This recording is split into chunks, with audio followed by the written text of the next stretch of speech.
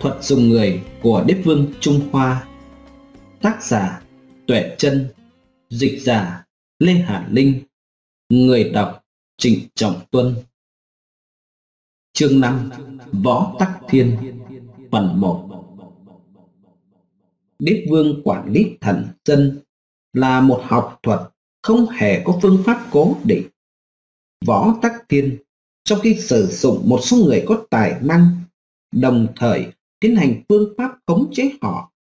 Trước hết, dùng biện pháp gia uy tiến hành sự quản giáo đối với tôi thần, vừa đánh vừa vuốt, cương nhu tương tế, biến đổi vô thường, tân độc thổ ác. Tôi thần không ai là không sợ, không dám vượt qua giới hạn một bước. Một nhỏ, chiêu sao sơn chấn họ. Võ Tắc Thiên là một cao thủ chuyên sử dụng chiêu sao sơn chấn họ. Một khi bà phát hiện đối thủ tạo nên sức uy hiếp đối với mình, lập tức lợi dụng tất cả cơ hội để gõ cho đối thủ một cái. Cái gõ này làm cho đối thủ phải sợ đến dựng tóc gáy, không thể không cúi đầu xưng thần tử. Cuộc phản loạn của từ kinh nghiệm từng chấn động một thời. Ông ta khởi binh từ một châu có mười mấy vạn quân tự lập làm vua, chiếm cứ ba châu, truyền hình khắp thiên hạ, công thành đoạt đất. Hơn nữa, lại được sự ủng hộ của tể tướng và các lực tướng ở triều đình. Cách thanh thế này từ đại đường mở nước đến đây là lần thứ nhất. Nhưng từ kinh nghiệm không thành công, thất bại rất thê thảm. Sự kiện này chứng minh hai điểm thế này. Một là không thu được lòng dân Nhân dân lúc đó chỉ mong được ổn định, sống thái bình, không mong có chiến tranh. Họ đã nếm đồ cái đau khổ của chiến tranh rồi. Hoàn cảnh xã hội lúc đó tương đối, họ đã mãn nguyện. Hai là chính sách của Võ Tắc Thiên cho dù không phải là không có chỗ đáng chỉ trích, nhưng nhìn một cách tổng thể vẫn được nhân dân rất ủng hộ. Từ kinh nghiệm phất cờ khởi binh, rõ ràng là để lật đổ bà, chỉ đích danh dòng họ tên tuổi mà công kích thuyết minh bà, đã trở thành người tượng trưng của nhà đại đường, không ai có thể nghi ngờ được nữa. Võ Tắc Thiên vô cùng đắc ý trước sự thắng lợi trong việc dẹp yên phản loạn. Để chúc mừng thắng lợi lần này, Võ Tắc Thiên tổ chức một yến hội lớn trong hoàng cung, mời văn võ bá quan cất chén rượu cùng uống bà vốn không phải là người mạnh rượu. Nhưng lần này, Võ Tắc Thiên uống một lượng rượu quá nhiều, sắc mặt ửng đỏ, đầu óc nóng bừng. Nhưng như thế lại trở nên trẻ trung lại. Một lão bà 61 tuổi, bỗng nhiên trở thành một phụ nữ trung niên dáng điệu tha thướt. Các triều thần đều buộc miệng khen thấy hậu quất tướng của thánh nhân trẻ mãi không già lời của triều thần dĩ nhiên là lời tân bốc. Nhưng võ tắc thiên quả thực vẫn chưa giả. Bởi vì về mặt này, bà có sự bảo dưỡng rất tốt. Một mặt khác, có liên quan đến tấm lòng rộng rãi của bà. Mấy mươi năm nay, tốt ba đảo chính trị, hoàn cảnh hiểm ác này đã rèn luyện ý chí của bà, dường như cũng làm thể phách của bà cường kiện hơn từ mặt biểu hiện mà nhìn, Võ Tắc Thiên luôn thong song, nhẹ nhàng, vui vẻ, tự đắc đối với tất cả mọi sự xem như chẳng có gì quan trọng. Nhưng nội tâm của Võ Tắc Thiên lại là một thế giới hoàn toàn tĩnh. Võ Tắc Thiên không giây phút nào không tập trung tinh thần sắp xếp việc chính trị. Mỗi ngày đều phải suy tư làm thế nào tấn công vào kẻ địch một cách không nương tay để thanh trừ bất cứ một uy hiếp và nguy cơ nào đang tiềm ẩn. Trong lúc Võ Tắc Thiên đang vừa vui cười chuyện trò, vừa nhấp rượu mừng thắng lợi, thì một kế hoạch đã thành hình trong tâm trí. Ba ngày sau buổi yến hội mừng công, Võ Tắc Thiên một lần nữa triệu tập quân thần vào điện Càn Nguyên ở cung Lạc Dương. Cuộc tập trung lần này khác với cuộc tập trung lần trước không có ca vũ, không có tiệc rượu, không có tiếng cười vui vẻ, không có cả những câu chuyện bản riêng tư. Trên đại điện, sự uy nghiêm khiến cho không ai dám ngửa mặt nhìn lên. Không khí căng thẳng khiến người ta như muốn nín thở. Thái hậu Võ Tắc Thiên ngồi trên ngai vàng, dùng ánh mắt bức người nhìn hai hàng quân thần đang đứng thẳng như chim hậu, dùng giọng nói sắc bén hỏi. Chấm, từ khi đích thân chấp chính đến nay, tự nghĩ không phụ lòng các khanh, không phụ lòng thiên hạ, các khanh có biết không?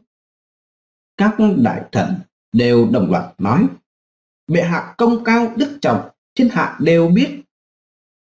Võ Tắc Thiên lại nói tiếp, chấm phụng sự tiên đế hơn 20 năm, luôn tận tâm lo công việc của mình, lòng lúc nào cũng lo cho thiên hạ, phú quý của các khanh là do chấm ban cho, sự an vui của thiên hạ là kết quả dưỡng dục của chấm.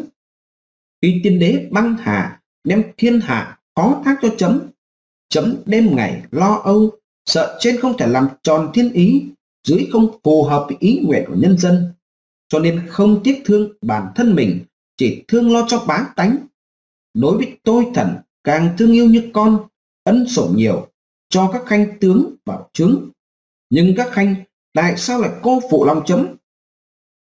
Võ Tắc Thiên nói đến đây, ngừng lại một chút để ổn định tâm tính đang kích động của mình. Văn võ bác quan, người người nhìn nhau, cúi đầu nín thở, không ai dám nói một lời, không dám nhúc nhích cử động. Họ biết rằng Võ Tắc Thiên nổi giận là có nguyên nhân. Trước đây, Võ Tắc Thiên vừa giết hai đại công thần công cao vị hiển là Bùi Viên và Trình Vụ Đình. Hiển nhiên, đây là bà đang lấy việc của họ Bùi và họ Trình mà cảnh cáo họ. Quả nhiên, đúng như sự suy đoán của họ, Võ Tắc Thiên đã nhanh chóng nói thẳng ra vấn đề cực kỳ nghiêm khắc. Nói, trong các khanh đây có người là lão thần của tiền triều, nhưng có người nào quật cường khó khống chế hơn bùi viêm không? Trong các khanh đây cũng không ít người là hậu duệ của các tướng lãnh, nhưng hẳn tụ tập mưu phản, bất kể chết, có ai qua được trình vụ đỉnh không? Ba người này đều có khá nhiều danh vọng, nhưng họ lại gây bất lợi cho chấm, đối địch với chấm. Chấm vẫn đủ khả năng giết chết họ. Các khanh, có người nào lợi hại hơn ba người này, muốn có mưu đồ khác, xin hãy sớm ra tay đi. Nếu không, thì nên rửa lòng, rửa mặt, sống cho thành thực để khỏi bị thân bại danh liệt chỉ làm cho thiên hạ chê cười. Những câu nói này, từng chữ nặng cả ngàn cân như quả truy nặng đập vào quả tim của các đại thần. Cả thân hình họ run rẩy, mồ hôi nóng chảy tâm dề, đồng loạt quỷ xuống, nói Bệ hạ thiên uy, chúng thần nguyện ra sức quyền mã, Võ Tắc Thiên cười lạnh một tiếng rồi nói chấm tuyệt đối không hề bức bách bất cứ một người nào. Các khanh nên thức thời vụ, đó thị phi tìm cái lợi tránh cái hại. Nếu không, lòng tham lợi dậy lên, tự ý làm càng, khi hối hận thì đã muộn rồi. Nét mặt, xem thường tất cả, và khí khái không hề sợ hãi của võ tắc thiên, làm cho các đại thần đều nằm rạp xuống đất, hiểu rất rõ sâu sắc cái uy nghiêm và bất khả xâm phạm của người đàn bà đầy quyền lực này. Sau cuộc tập hợp này, Võ Tắc Thiên lại ra lệnh cho các đại thần xếp hàng đi đến trước triều đường. Mới đó còn treo ba cái thủ cấp của Từ Kính Nghiệp, Bùi Viêm và Trình Vũ Đỉnh. Ba cái đầu này không còn chảy ra máu nhưng sắc máu đỏ sậm của máu dường như vẫn còn chiếu lấp lánh trước cặp mắt của đại thần. Sắc máu đó là bài học khắc cốt tâm tâm, là lời cảnh báo làm cho mọi người đàm chiếm tâm kinh. Tất cả mọi người, bất kể là địa vị và danh dự cao cỡ nào, nếu dám phản đối võ tắc thiên, thì tất phải sẽ bị cố đánh trí mệnh, phải trả giá bằng máu. Thuật dùng người thứ hai của Võ Tắc Thiên. Hai nhỏ Dùng thuật điểm huyệt trị người. Người khéo đánh người không phải là đánh vào toàn thân của đối thủ. Chỉ cần điểm trúng vào huyệt đạo của họ là đủ có hiệu quả rồi. Như vậy vừa tiết kiệm thời gian tiết kiệm sức lực mà làm cho người ta toàn thân tê dại xét về võ tắc thiên cái cổ tay khỏe cứng nhất là bóp chẹt đối thủ, đánh thẳng đối thủ mà bước lên đỉnh cao nhất của quyền lực cái thuật điểm huyệt của võ tắc thiên chính là tuyệt chiêu bóp chẹt đối thủ, đánh thẳng vào đối thủ trước hết là xây dựng miếu sủng tiên để tế bánh dòng họ Vũ. Tiêu biểu theo sau là Võ Tắc Thiên bắt đầu khởi công lập ngôi minh đường. Lúc Thái Tông và Cao Tông còn tại vị, đều có nguyện vọng xây dựng ngôi minh đường.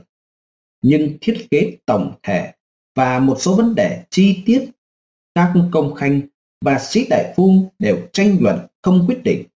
Câu nệ vào các thứ thuyết giáo trong lịch sử mà không thể tự đề bạt chủ kiến của mình. Cho nên, kế hoạch này không thể nào thực hiện được. Đối với Võ Tắc Thiên, điều quan trọng không phải là sự tạo hình bên ngoài của ngôi minh đường, không phải là hướng mặt về Nam, về Bắc, mà điều quan trọng nhất là bà muốn xây dựng quyền lực chính trị của mình, mượn việc xây dựng ngôi minh đường để làm cho mình lên ngôi một cách danh chính, ngôn thuận, xây dựng một đế quốc đại chúng. Ngôi Minh Đường được thiết lập ra từ triều nhà Chu, các triều đại sau đó đều tiếp tục làm theo. Thiên tử cử hành đại lễ tại ngôi Minh Đường, tiếp đón chư hầu đến triều bái, tế trời, tế thần, tế tổ tiên. Tây Chu là một trong những thời đại phồn vinh nhất trong lịch sử Trung Quốc. Điều quan trọng lớn nữa là triều Tây Chu cường thịnh đã xây dựng nền tảng vững vàng cho sự phát triển của nho giáo.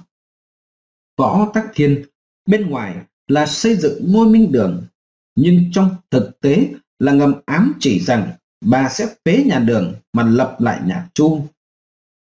Võ Tắc Thiên đã nghiên cứu vô cùng thâm sâu về lịch sử nho giáo, nhưng bà nghiên cứu lịch sử lại không câu nệ vào lịch sử, đủ khả năng sử dụng nó theo ý mình, học tập nho giáo nhưng không bị nó trói buộc.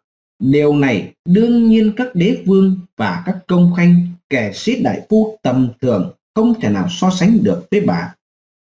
Đối với ngoại hình và nội dung của ngôi minh đường, Võ Tắc Thiên chỉ thảo luận với bác môn học sĩ chứ không hề bàn thảo với các công khanh đại thần so sánh với các quan lại khác anh quy giới luận bắt môn học sĩ ít hơn một chút nhưng giàu ý thức sáng tạo thì người trẻ tuổi vẫn hơn dưới sự tham dự của võ tắc thiên họ nhanh chóng vạch ra một phương án địa điểm của ngôi minh đường được chọn ở điện cảng nguyên người được võ tắc thiên tín nhiệm nhất là tiết hoài nghĩa đảm nhiệm tổng quân của công trình đây là sự tuyển chọn vô cùng sáng suốt của Võ Tắc Thiên.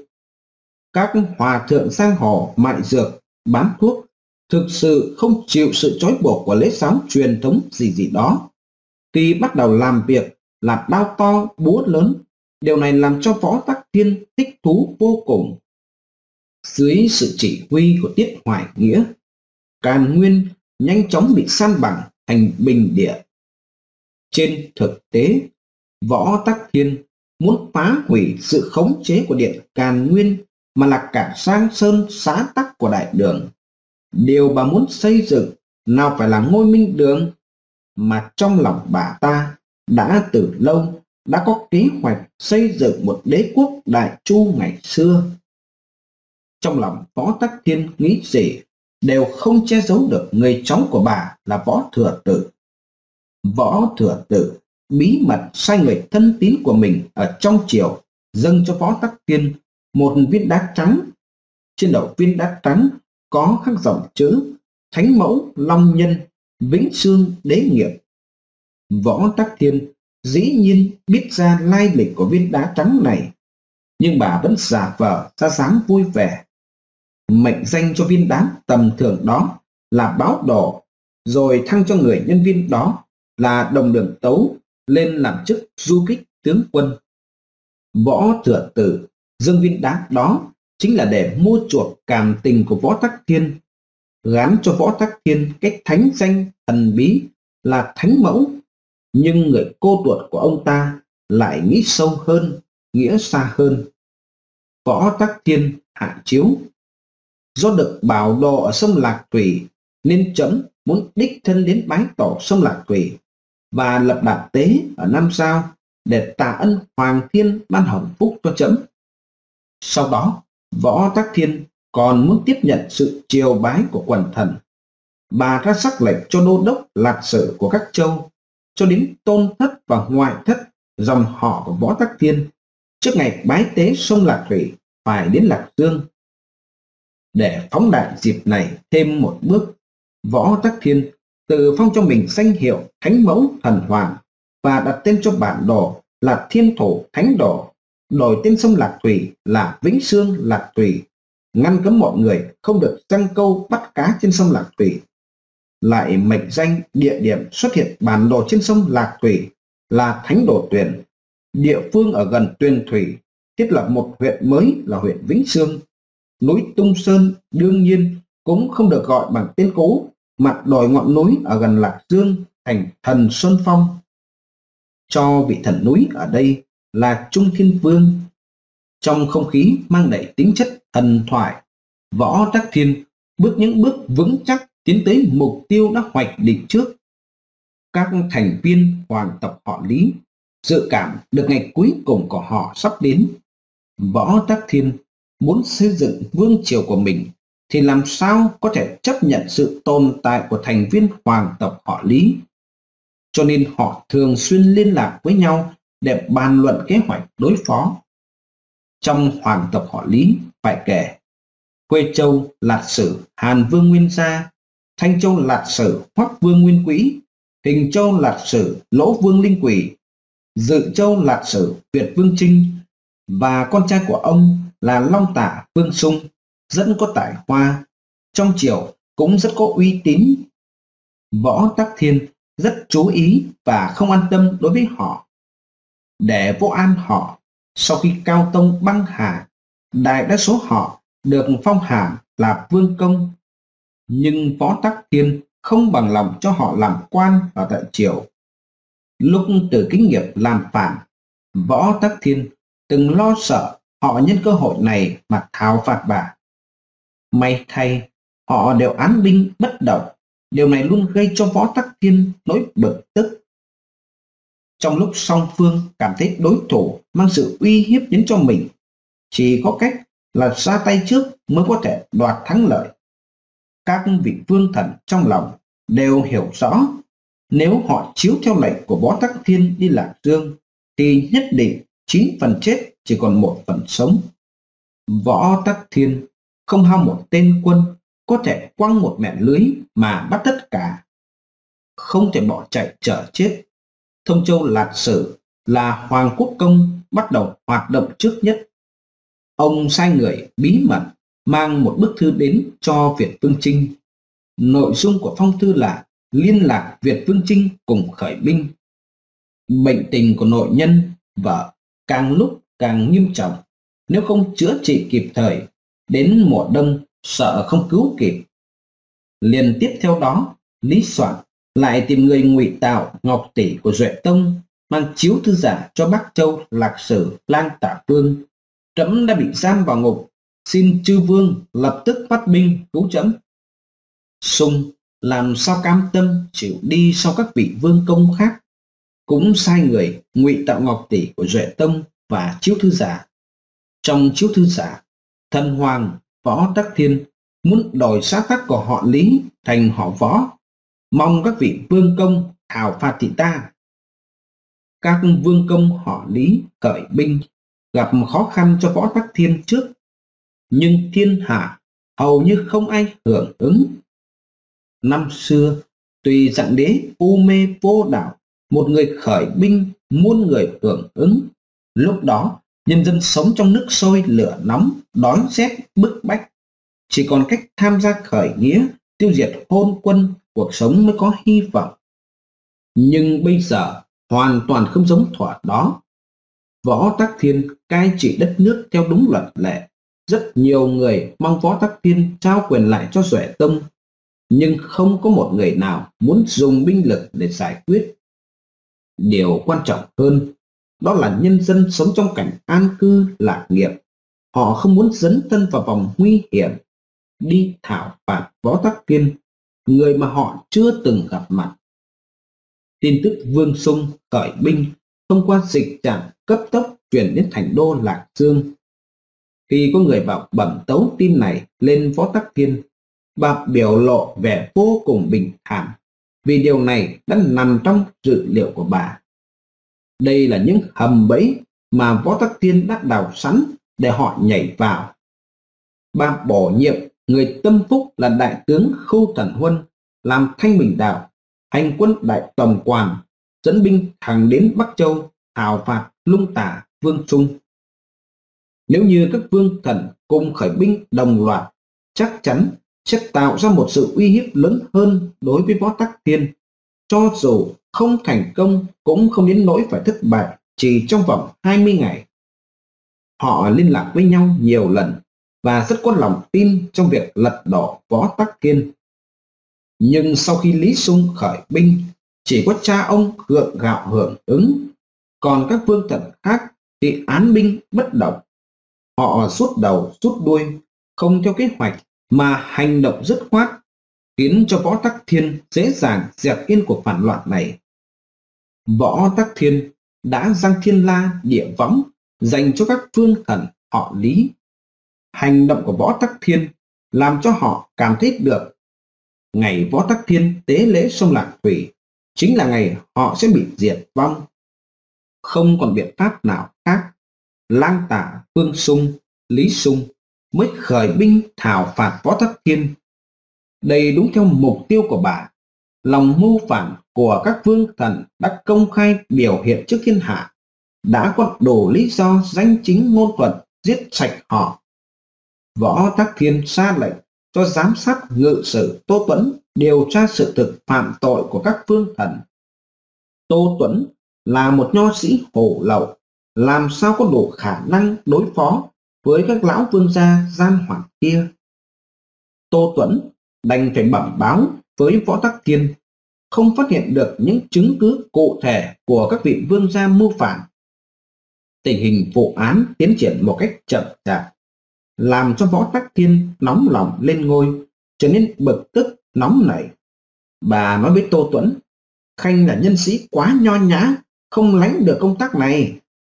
Võ Tắc Thiên điều Tô Tuấn đi làm sám quân ở hạ Tây, giao cho viên quan độc ác nhất là thu quan thị lang Chu Hưng tiếp tục thụ lý vụ án này.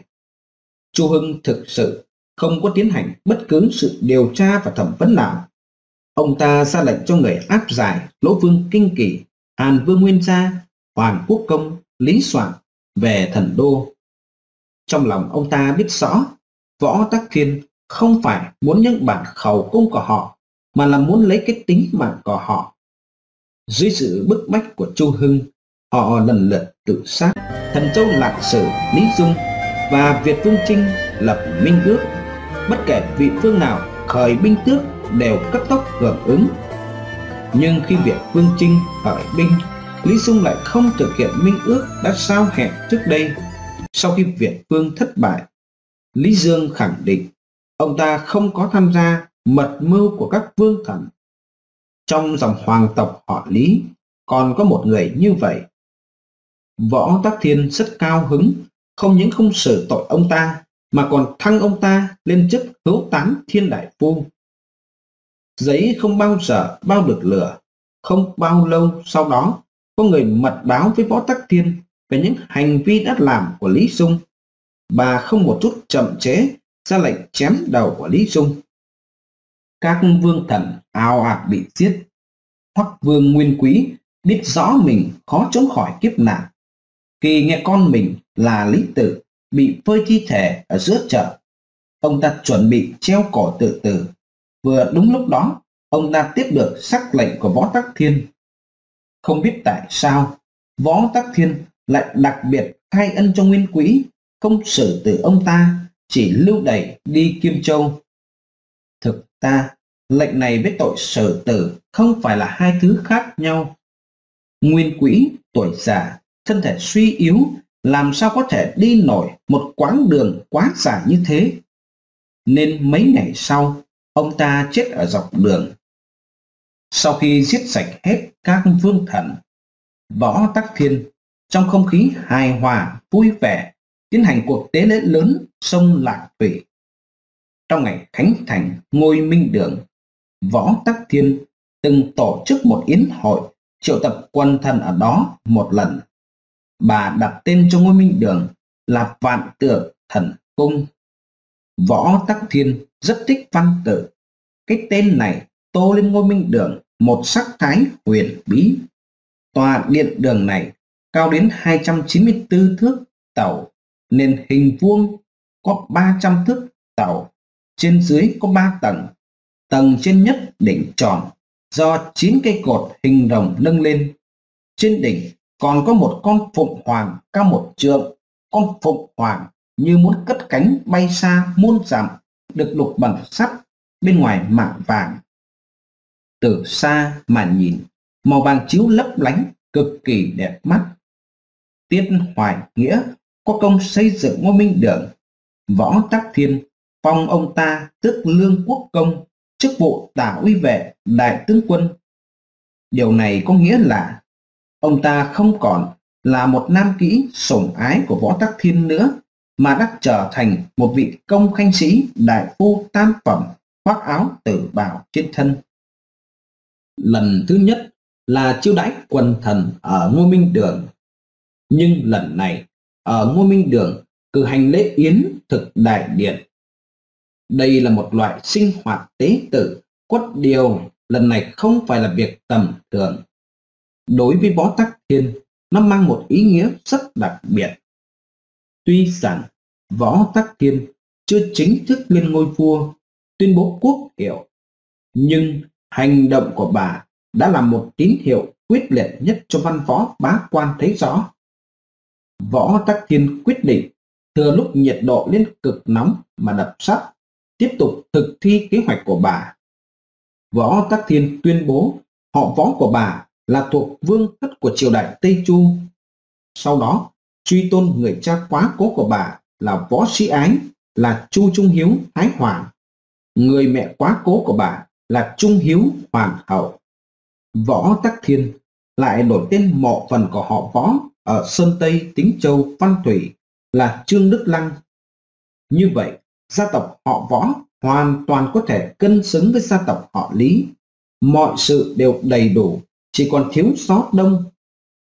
Võ Tắc Thiên có ý đồ lên làm hoàng đế, nhưng không thể tự mình nói ra, cần phải có người tuyên bố cho bà. Phó Du Nghệ, một viên quan độc ác, nhìn chính xác đây là cơ hội ngàn năm khó gặp để thăng quan tiến chức. Ông ta phát động một cuộc bỏ phiếu tín nhiệm yêu cầu Võ Tắc Thiên lên ngôi hoàng đế. Cuộc bầu cử này tiến hành một cách thuận lợi, không đầy mấy ngày đã có trên một ngàn người bỏ phiếu tín nhiệm. Thiên thủ nguyên niên công nguyên năm 690 vào một ngày của tháng 9, Phó Du Ngự hướng dẫn hơn 900 người đến giữa triều đình, trình danh sách bỏ phiếu tín nhiệm, thỉnh võ tắc thiên lên ngôi hoàng đế, rồi đổi quốc hiệu là tây chu, ban cho hoàng thượng hiện tại là duệ tông họ võ, xem danh sách tín nhiệm. Võ tắc thiên trong lòng vô cùng sung sướng, nhưng không biểu hiện ra mặt. Bà không đáp ứng lời thỉnh cầu của nhân dân ngay lập tức. Nhưng khi số người này lui xa, võ tắc thiên liền tuyên bố thăng phó su nghệ lên làm cập sự chung bà khéo léo biểu hiện thái độ cho triều thần biết. Ngày hôm sau, các bảng danh sách tín nhiệm tương tự từ văn võ bá quan, từ nhân dân xa gần, từ các sứ thần các nước, từ các tù trưởng tây di các hòa thượng, đạo sĩ, đồ các giai tầng gửi đến triều đình. Số người đạt hơn sáu vạn. Duệ tông hoàng đế thấy đại thế của mình đã ra đi nên chủ động yêu cầu được thoái vị thỉnh cầu võ tắc thiên ban họ võ cho ông ta ngày mùng 6 tháng 9 Duệ Tông hạ chiếu thư nhường ngôi hoàng đế của mình cho mẫu hậu Võ Tắc Thiên. Hai ngày sau, Võ Tắc Thiên ngự giá lên lầu thiên môn cáo thị cùng thiên hạ. Để thuận theo thiên ý, bà tiếp nhận lời thỉnh nguyện của vạn dân hay quốc hiệu đại đường bằng quốc hiệu đại chu, đổi niên hiệu là thiên Thủ, đại xá phạm nhân trên toàn quốc. Đế quốc đại chu như vậy đã ra đời, võ tắc thiên được tôn làm thánh thần hoàng đế. Ba nhỏ kém dùng cái liên hoàn trị người. Dùng phép liên hoàn mà mưu sự có thể vừa trói vừa đánh bức bách phương mà thổ thắng. Chiến thuật bức bách có thể đạt được mục đích đã đề ra, nhưng dùng chiến thuật bức bách cần phải có đủ khả năng nắm bắt thời cơ, nhìn chính xác mỗi một mắt xích. Võ Tắc Thiên cực kỳ hiểu rõ sự lợi hại của chiến thuật này, cho nên bà thường dùng nó làm sách lược để ứng phó với cục thế và những người bên cạnh mình. Sau khi Vương Hoàng hậu bị chốt phế, địa vị của Thái tử Lý Trung lập tức lung lay. Võ Tắc Thiên vào cung không bao lâu đã sinh cho vua Cao Tông một người con trai. Võ Tắc Thiên không những muốn đoạt vị trí hoàng hậu cho mình, mà muốn còn đoạt vị trí cho con mình. Lý Trung tự là chính bản, vừa được Cao Tông lập làm thái tử là do hậu cung lưu thị sinh ra, là con trưởng của đường Cao Tông. Lúc đó, đường Cao Tông đang ở trong cung thiết yến ăn mừng. Lý Thế Dân đích thân giá lâm. Ông nói với quan thần, chấm muốn có cháu nội, muốn cùng chung vui với các khanh. Trong lúc rượu ngà ngà, Lý Thế Dân đích thân đứng lên nhảy múa. Tất cả quan thần có mặt ở đó cũng đều đứng lên nhảy múa. Lý Thế Dân vô cùng vui vẻ, ban rất nhiều quà tặng cho họ. Trình quán năm thứ 20, công nguyên, năm 647, Lý Trung được thụ phong làm Trần Vương. Đường Cao Tông sau khi lên ngôi, Lý Trung được phong làm ông Châu Mục. Lý Trung xuất thân từ sai tầng hơi thấp, sự sự cẩn thận, kỹ lưỡng từ khi được lập làm thánh tử, không phạm một sai lầm nào để người khác nắm được cán. Nhưng Vương Hoàng hậu bị chuất phế, Võ Tắc Thiên nắm giữ hậu cung. Người con trai của Võ Tắc Thiên sinh ra là Lý Hoàng, đã được 3 tuổi. Lý Trung tự biết địa vị thái tử của mình không giữ được, nên chủ động đề xuất rời bỏ chức vị thái tử của mình. Đường Cao Tông trong lòng không nỡ, nhưng Võ Tắc Thiên lại không chịu ngừng chiến. Người thân tính của bà ở trong triều lãnh ý chỉ của bà, tự nhiên cũng không bỏ lỡ cơ hội này. Năm Vĩnh Huy thứ sáu công nguyên, năm 655, tháng 11, sau khi Võ Tắc Thiên được lập làm hoàng hậu mấy ngày, Hứa Kính Tông liền dâng lên một tờ tấu biểu qua một phen cổ động của hứa kính tông, đường cao tông quyết định phế Lý Trung mà lập thái tử mới. Tháng riêng năm sau, đường cao tông hạ chiếu sáng phong Lý Trung xuống tức lương vương, giữ chức đô đốc Lương Châu, tặng cho một tòa sinh tử, thực phong hai ngàn họ, ban cho quả tặng vô số. Lý Trung sau khi bị chuất phế, các quan thuộc hạ đều kinh sợ phần nhiều đều trốn tránh, không dám đến gặp ông. Chỉ có thái tử, hữu thứ tử là Lý An Nhân gạt nước mắt đến bái biệt Lý Trung.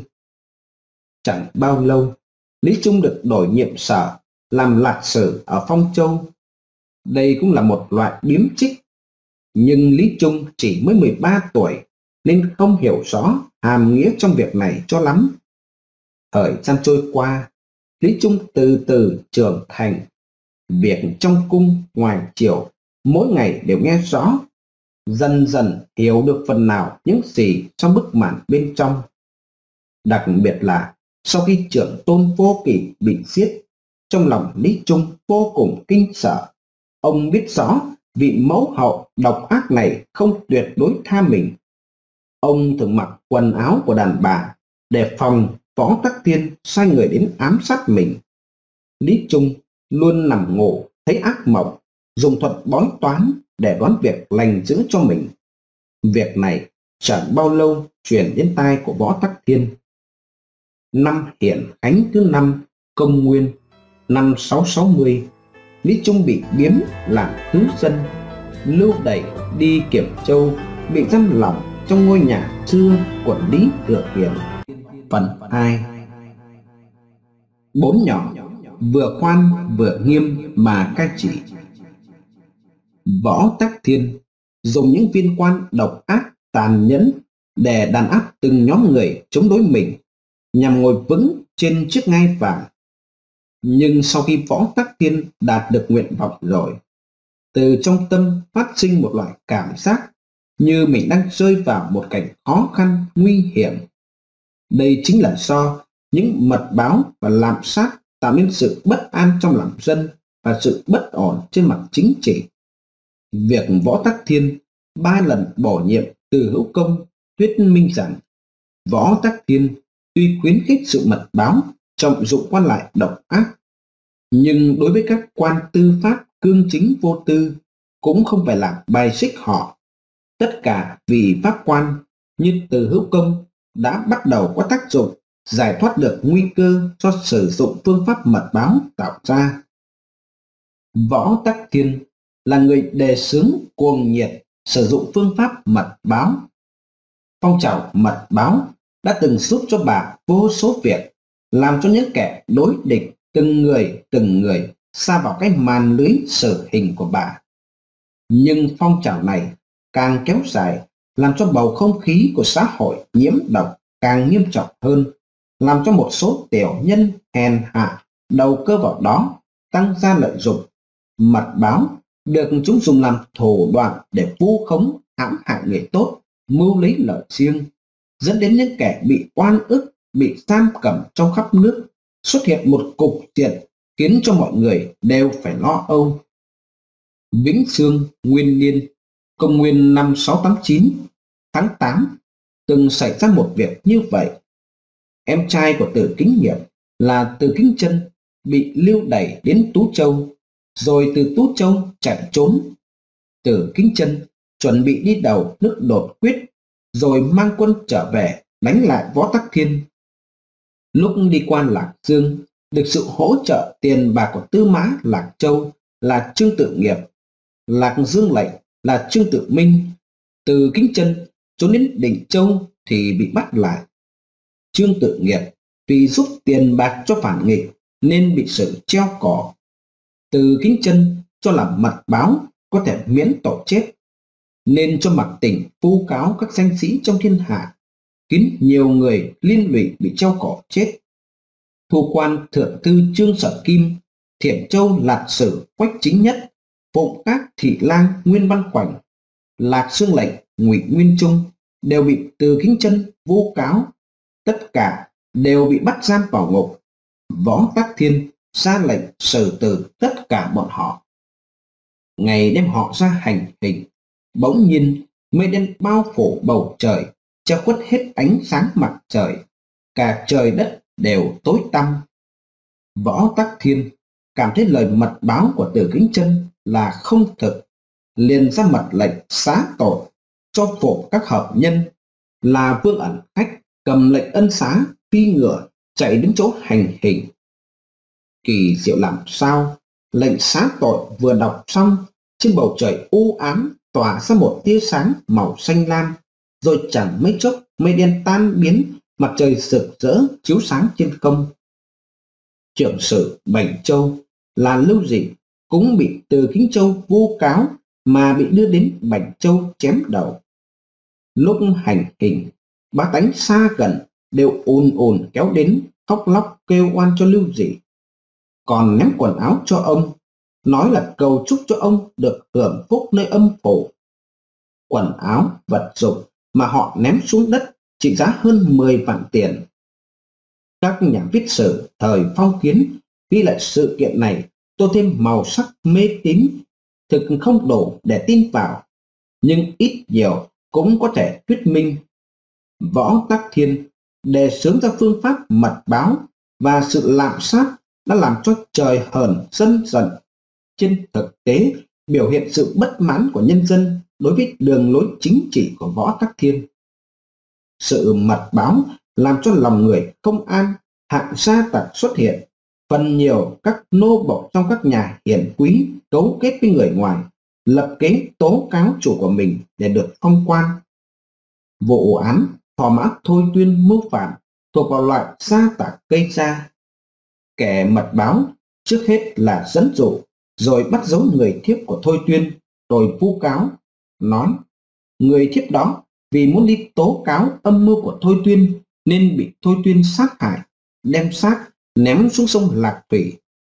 Võ Tắc Thiên ra lệnh cho quan ngự sử Trương Hành Cập tra xét việc này. Trương Hành Cập điều tra lần đầu không có bằng chứng chi cả. Võ Tắc Thiên lại ra lệnh cho ông thẩm tra một lần nữa. Trương Hành Cập vẫn bẩm tấu, không có chứng cứ chi. Võ Tắc Thiên giận dữ nói, thôi tuyên mưu phạm, tội trạng quá rõ ràng, làm sao điều tra không có chứng cứ. Nhất định là Khanh đã khoan dung cho hắn, chấm sẽ cho Lai Tuấn Thần thẩm tra lại, đến lúc đó Khanh đừng có hối hận. Trương Hành Cập là một vị quan tốt, chính trực, biện giải rằng, thần thẩm lý án kiện không kém lai tuấn thần.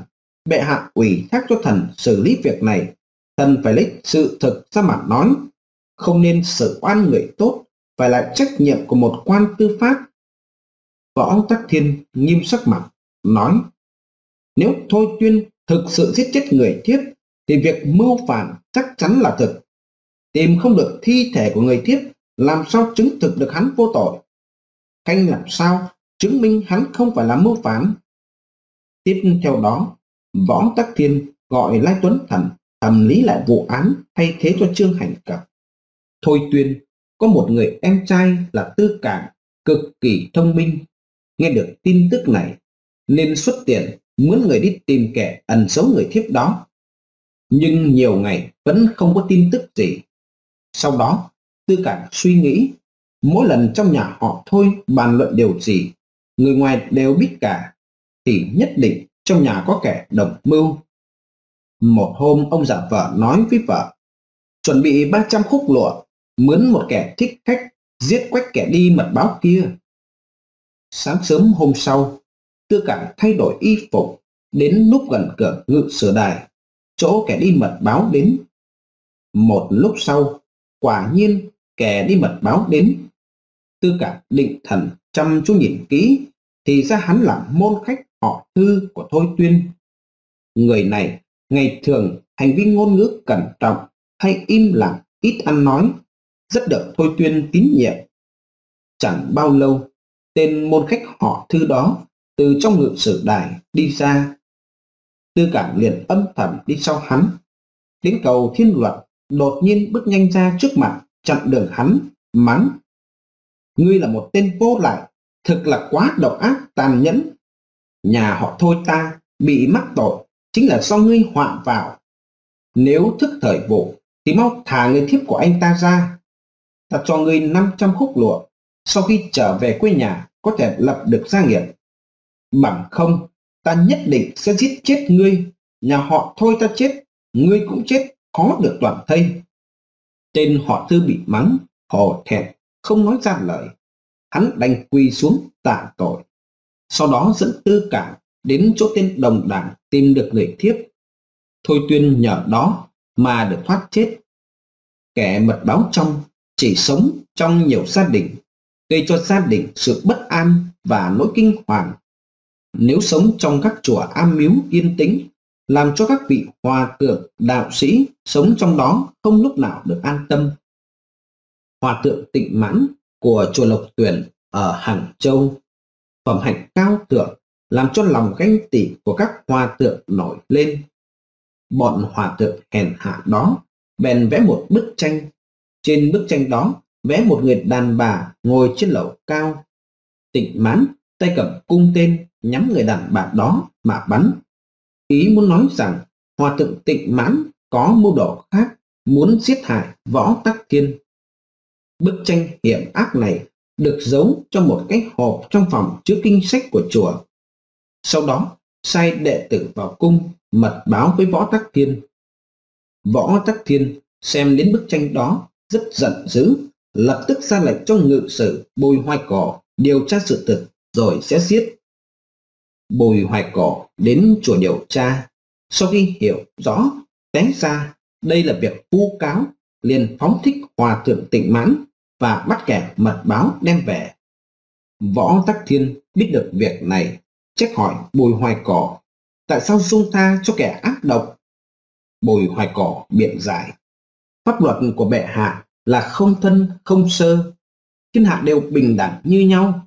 Tại sao bệ hạ bảo thần giết kẻ vô tội để thuận theo thánh chỉ của bệ hạ? Nếu tịnh mãn đích xác có hành vi không tốt, thần làm sao tha cho ông ta được? Pháp quan lấy sự chấp pháp nghiêm minh làm trách nhiệm của mình. Nếu có thể duy trì, bảo vệ sự tôn nghiêm pháp luật của bệ hạ ban ra, thần dù có chết cũng không ân hận. Lời nói thẳng thắn đó thuyết phục được Võ Tắc Thiên, nên phóng thích bồi hoài cỏ, không truy vấn hòa thượng tịch mãn nữa. Những sự kiện như vậy có thể chứng dẫn ra rất nhiều. Tất cả tình huống đều thuyết minh một cách sâu sắc rằng phương pháp mật báo mà Võ Tắc Thiên đề xướng sử dụng. Tuy ra có một mặt tích cực nào đó trong lúc bà diệt trừ các đối thủ chính trị, nhưng do sự mật báo trở thành một phong trào đích xác đã làm rất nhiều người bị án oan uổng. Nó làm cho ai nấy cảm thấy lúc nào cũng có thể gặp nguy hiểm rồi kinh sợ tạo thành một nhân tố gây sự bất an nghiêm trọng trở thành một vấn đề xã hội không thể xem tưởng được. Võ Tắc Thiên trong thời kỳ hung hăng chiến đấu với các địch thủ, bà không thể nghĩ kỹ về việc này. Bây giờ, bà đắt đường đường là một vị hoàng đế. Bà không muốn ngai vị của bà nằm trong nguy cơ xã hội. Cho nên, từ niên hiệu thiên thủ về sau, Võ Tắc Thiên đã dần dần mệt mỏi và chán ghét việc mật báo thường làm cho kẻ mật báo, thất vọng ra về. Thậm chí, uy tín của họ bị quét sạch. Võ Tắc Thiên chán ghét việc mật báo, nên năm trường họ nguyên niên công nguyên năm 692 bà ra lệnh cho giám sát ngự sử nghiêm triệt tư tiếp nhận việc mật báo, phân biệt thực giả nghiêm triệt tư, công chính cương trực dám nói thẳng sau khi ông tiếp nhận thánh chỉ đối với một số lớn các án kiện mật báo tiến hành thẩm vấn thanh lọc, hơn 850 vụ án mật báo giả làm cho bọn vu cáo xuống tinh thần. Để giải tán nguy cơ xã hội do phong trào mật báo tạo ra, võ tắc thiên bắt đầu sử dụng từ hữu công, đỗ cảnh kiệm làm pháp quan vì hai ông là những người cương trực, không du nịnh, dám xử án theo pháp luật công bình đây là một số quan viên hoàn toàn khác biệt với những quan lại độc ác trước đây. Họ ủng hộ Võ Tắc Thiên nhưng kiên giữ ý kiến của mình. Có lúc bị Võ Tắc Thiên quả trách nhưng sắc mặt không hề lộ sợ hãi, vẫn theo lý mà tranh luận. Lúc đó, những bị cáo đều nói câu này.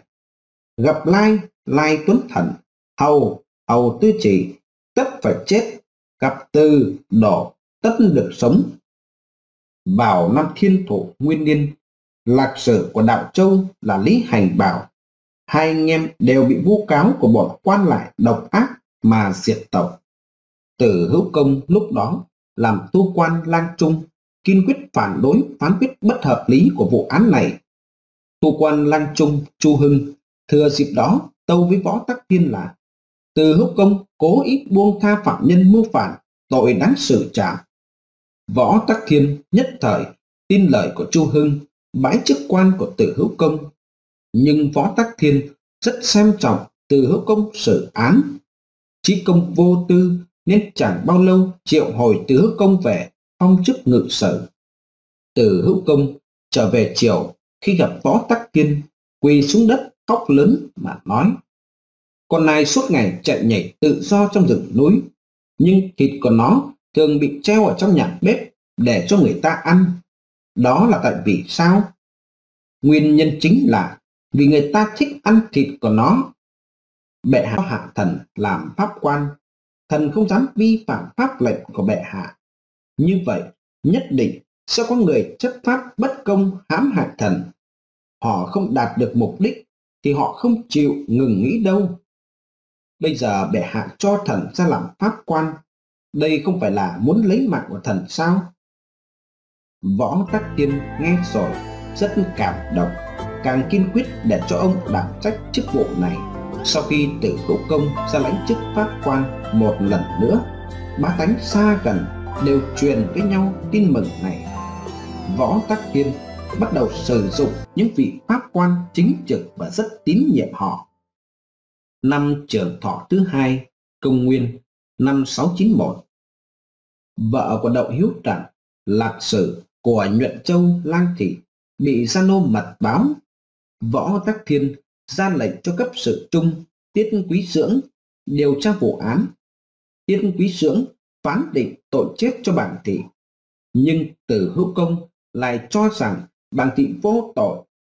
Tiết quý dưỡng lại trở dọc tố cáo từ hữu công là ủng hộ nghịch đảng xin giao cho pháp quan luận tội cuối cùng, phán xử từ hữu công bị treo cổ quan truyền lệnh, đem phán quyết này nói cho từ hữu công biết. Từ hữu công thở dài, nói, không lẽ chỉ cần một mình tôi chết thì người khác sẽ vĩnh viễn không chết sao? Nói xong, từ hữu công ung dung ăn cơm, cầm một cái quạt che mặt mình, rồi nằm trên ghế dựa mà ngủ. Người khác cho là từ hữu công, cố làm ra vẻ bình tĩnh, chứ trong lòng nhất định sẽ kinh sợ vô cùng, nên lén lén đến gần nhìn xem. Ai ngờ, từ hữu công ngủ thực. Lúc bấy họ báo cáo lên võ tắc tiên võ tắc tiên lập tức triệu ông đến, hỏi, khanh thường thường xử án, tha lầm cho người đích xác là không ít. Khanh tự mình phán định cho mình tội gì? Từ hữu công gióng giạc nói thả lầm người có tội, chẳng qua chỉ là một số ít người thôi. Hiếu sinh cố sát mới là đại đức của thánh nhân vậy. Võ tắc thiên nghe rồi, trầm tư rất lâu, hạ lệnh miễn tội chết cho bằng thị. Từ hữu công cũng bị bãi cho về làm sân thượng. Ba năm sau, võ tắc thiên lại dùng từ hữu công một lần nữa bổ nhiệm ông làm tả tư trung, sau này làm quan đến chức tư hành cứu khanh. Tử hữu công tưởng nói, nay là mệnh quan giường cột của nước nhà, có liên quan đến mạng sống của con người. Quyết không nên thuận theo chỉ ý của hoàng thượng mà giết kẻ vô tội. Đến đây, kho sách nói com vn xin chuyển quý thính giả và các bạn đến với thuật dùng người thứ năm của võ tắc thiên. Năm nhỏ, chiêu mời anh vào rọ chị chu hưng. Dùng quan trị quan là một lá bài lợi hại nhất được đánh ra trong quá trình trị người của võ tắc thiên. Dùng phép tắc của người đó trở lại trị người đó. Từ sự kiện của chu hưng mà xét, đây là một trong những tuyệt chiêu của võ tắc thiên, dùng người để trị người. Chu hưng là một người mưu trí, cao sâu và vô cùng tàn nhẫn. Từ lúc ra làm quan đến nay, con số người bị chu hưng giết hơn ngàn người. Tháng 9 năm thiên thổ nguyên niên, công nguyên, năm 690 sau khi võ tất thiên xưng đế, vừa nhận chức quan thượng thư tảng thừa, đã dâng biểu diệt trừ thân thuộc chính tông dòng họ lý, đồ thấy rõ ông ta lòng dạ ác độc cỡ nào. Chu hưng hãm hại người khác. Coi mạng người như cỏ cây, phần nhiều là để trả thù riêng, báo thù cá nhân. Đại thần ngụy huyền đồng bị giết là một ví dụ. Ở triều cao tông, chu hưng từng nhờ tư khách là lạc xương lệnh được vua triệu kiến. Cao tông muốn bổ sung chu hưng, nhưng có người tấu với hoàng đế rằng chu hưng khởi nghiệp ở thượng thư đô sử, lạc quan ở ngoài triều, không nên bổ nhiệm do đó cao tông bỏ ý bổ nhiệm đó. Nhưng chu hưng hoàn toàn không biết việc bên trong này nhiều lần vào triều chờ lệnh. Các quan triều trông thấy chu hưng đều im lặng không nói. Lúc đó, địa quan thượng thư kiểm hiệu nạp ngôn là ngụy Huyền Đồng đến trước mặt Chu Hưng lạnh lùng nói với ông ta Chu Minh phổ có thể trở về được rồi. Minh phổ là tên gọi ông tri Huệ thời nhà đường. Chu Hưng nghe ông ta gọi chức vụ cũ của mình, trong người đã toát mồ hôi lạnh. Thất vọng và phản uất làm cho ông ta như bốc cháy. Chu Hưng hằn học liếc mắt nhìn Ngụy Huyền Đồng một cái, nghĩ thầm: ta sáng hôm nay không được bổ nhiệm làm quan, nhất định do lão già đã thọc gậy bánh xe. Đợi một ngày nào đó, ta được thế, quyết không tha mạng cho lão đâu. Sau đó, quả nhiên, Chu Hưng thực sự thăng tiến, vào chiều làm quan nên tìm cơ hội thực hiện sự báo thù. Chu Hưng hiểu rất rõ, Ngụy Huyền Đồng quan hệ rất thân thiết phản thần Bùi Viêm, thân như anh em ruột thịt, cho nên sau Bùi Viêm bị xử tội, Ngụy Huyền Đồng tình cảm trước sau vẫn không thay đổi. Người thời đó, ai cũng khen cái phẩm hạnh tốt của ông, gọi hai người là bạn đời lâu dài. Chu Hưng nắm được đầu mối này, nên vẽ tùa vẽ rắn thêm. Ông ta sâu hiểm mật báo với võ tắc thiên. Ngụy Huyền Đồng có ý bước theo con đường cũ của Bùi Viêm, mưu đồ phản nghịch. Ông ta sau lưng từng nói với người ta rằng Thái hậu già rồi, tốt hơn là nên sao ngay vàng lại cho tự quân. Võ Tắc Thiên tin lời của Chu Hưng, nên tháng 9 năm Nguyên Sương Nguyên Niên, công nguyên năm 689, hạ lệnh ban cho Ngụy Huyền Đồng cái chết tại nhà. Lâm Hình ngự sử phòng Tế Bình, ngày thường rất kính phục nhân cách làm người của Ngụy Huyền Đồng, nên bày tỏ ý kiến. Ngụy đại nhân tại sao không mật báo xin vào triệu kiến thái hậu để minh oan ngụy huyền đồng lắc đầu, nói, người thì ai cũng phải chết thôi. Ta làm sao làm người đi mật báo kẻ khác? Cuối cùng, ngụy huyền đồng bị chu hưng ám hại chết là như thế. Chu hưng không chỉ tự bản thân mình lấy pháp luật mà mưu lợi cá nhân, mà còn giúp đỡ cho đồng đảng hãm hại những người khác ý kiến với mình. Tháng riêng năm thiên thổ nguyên niên địa quan tượng thư đồng phụ các loan đài tam phẩm là vi phương chất bị bệnh. Võ thừa tử võ tam tư đi thăm ông. Vi phương chất vì bị bệnh nặng trên người chưa thể đứng lên nghênh tiếp. Võ thừa tử và võ tam tư rất không vui tức giận ra vẻ.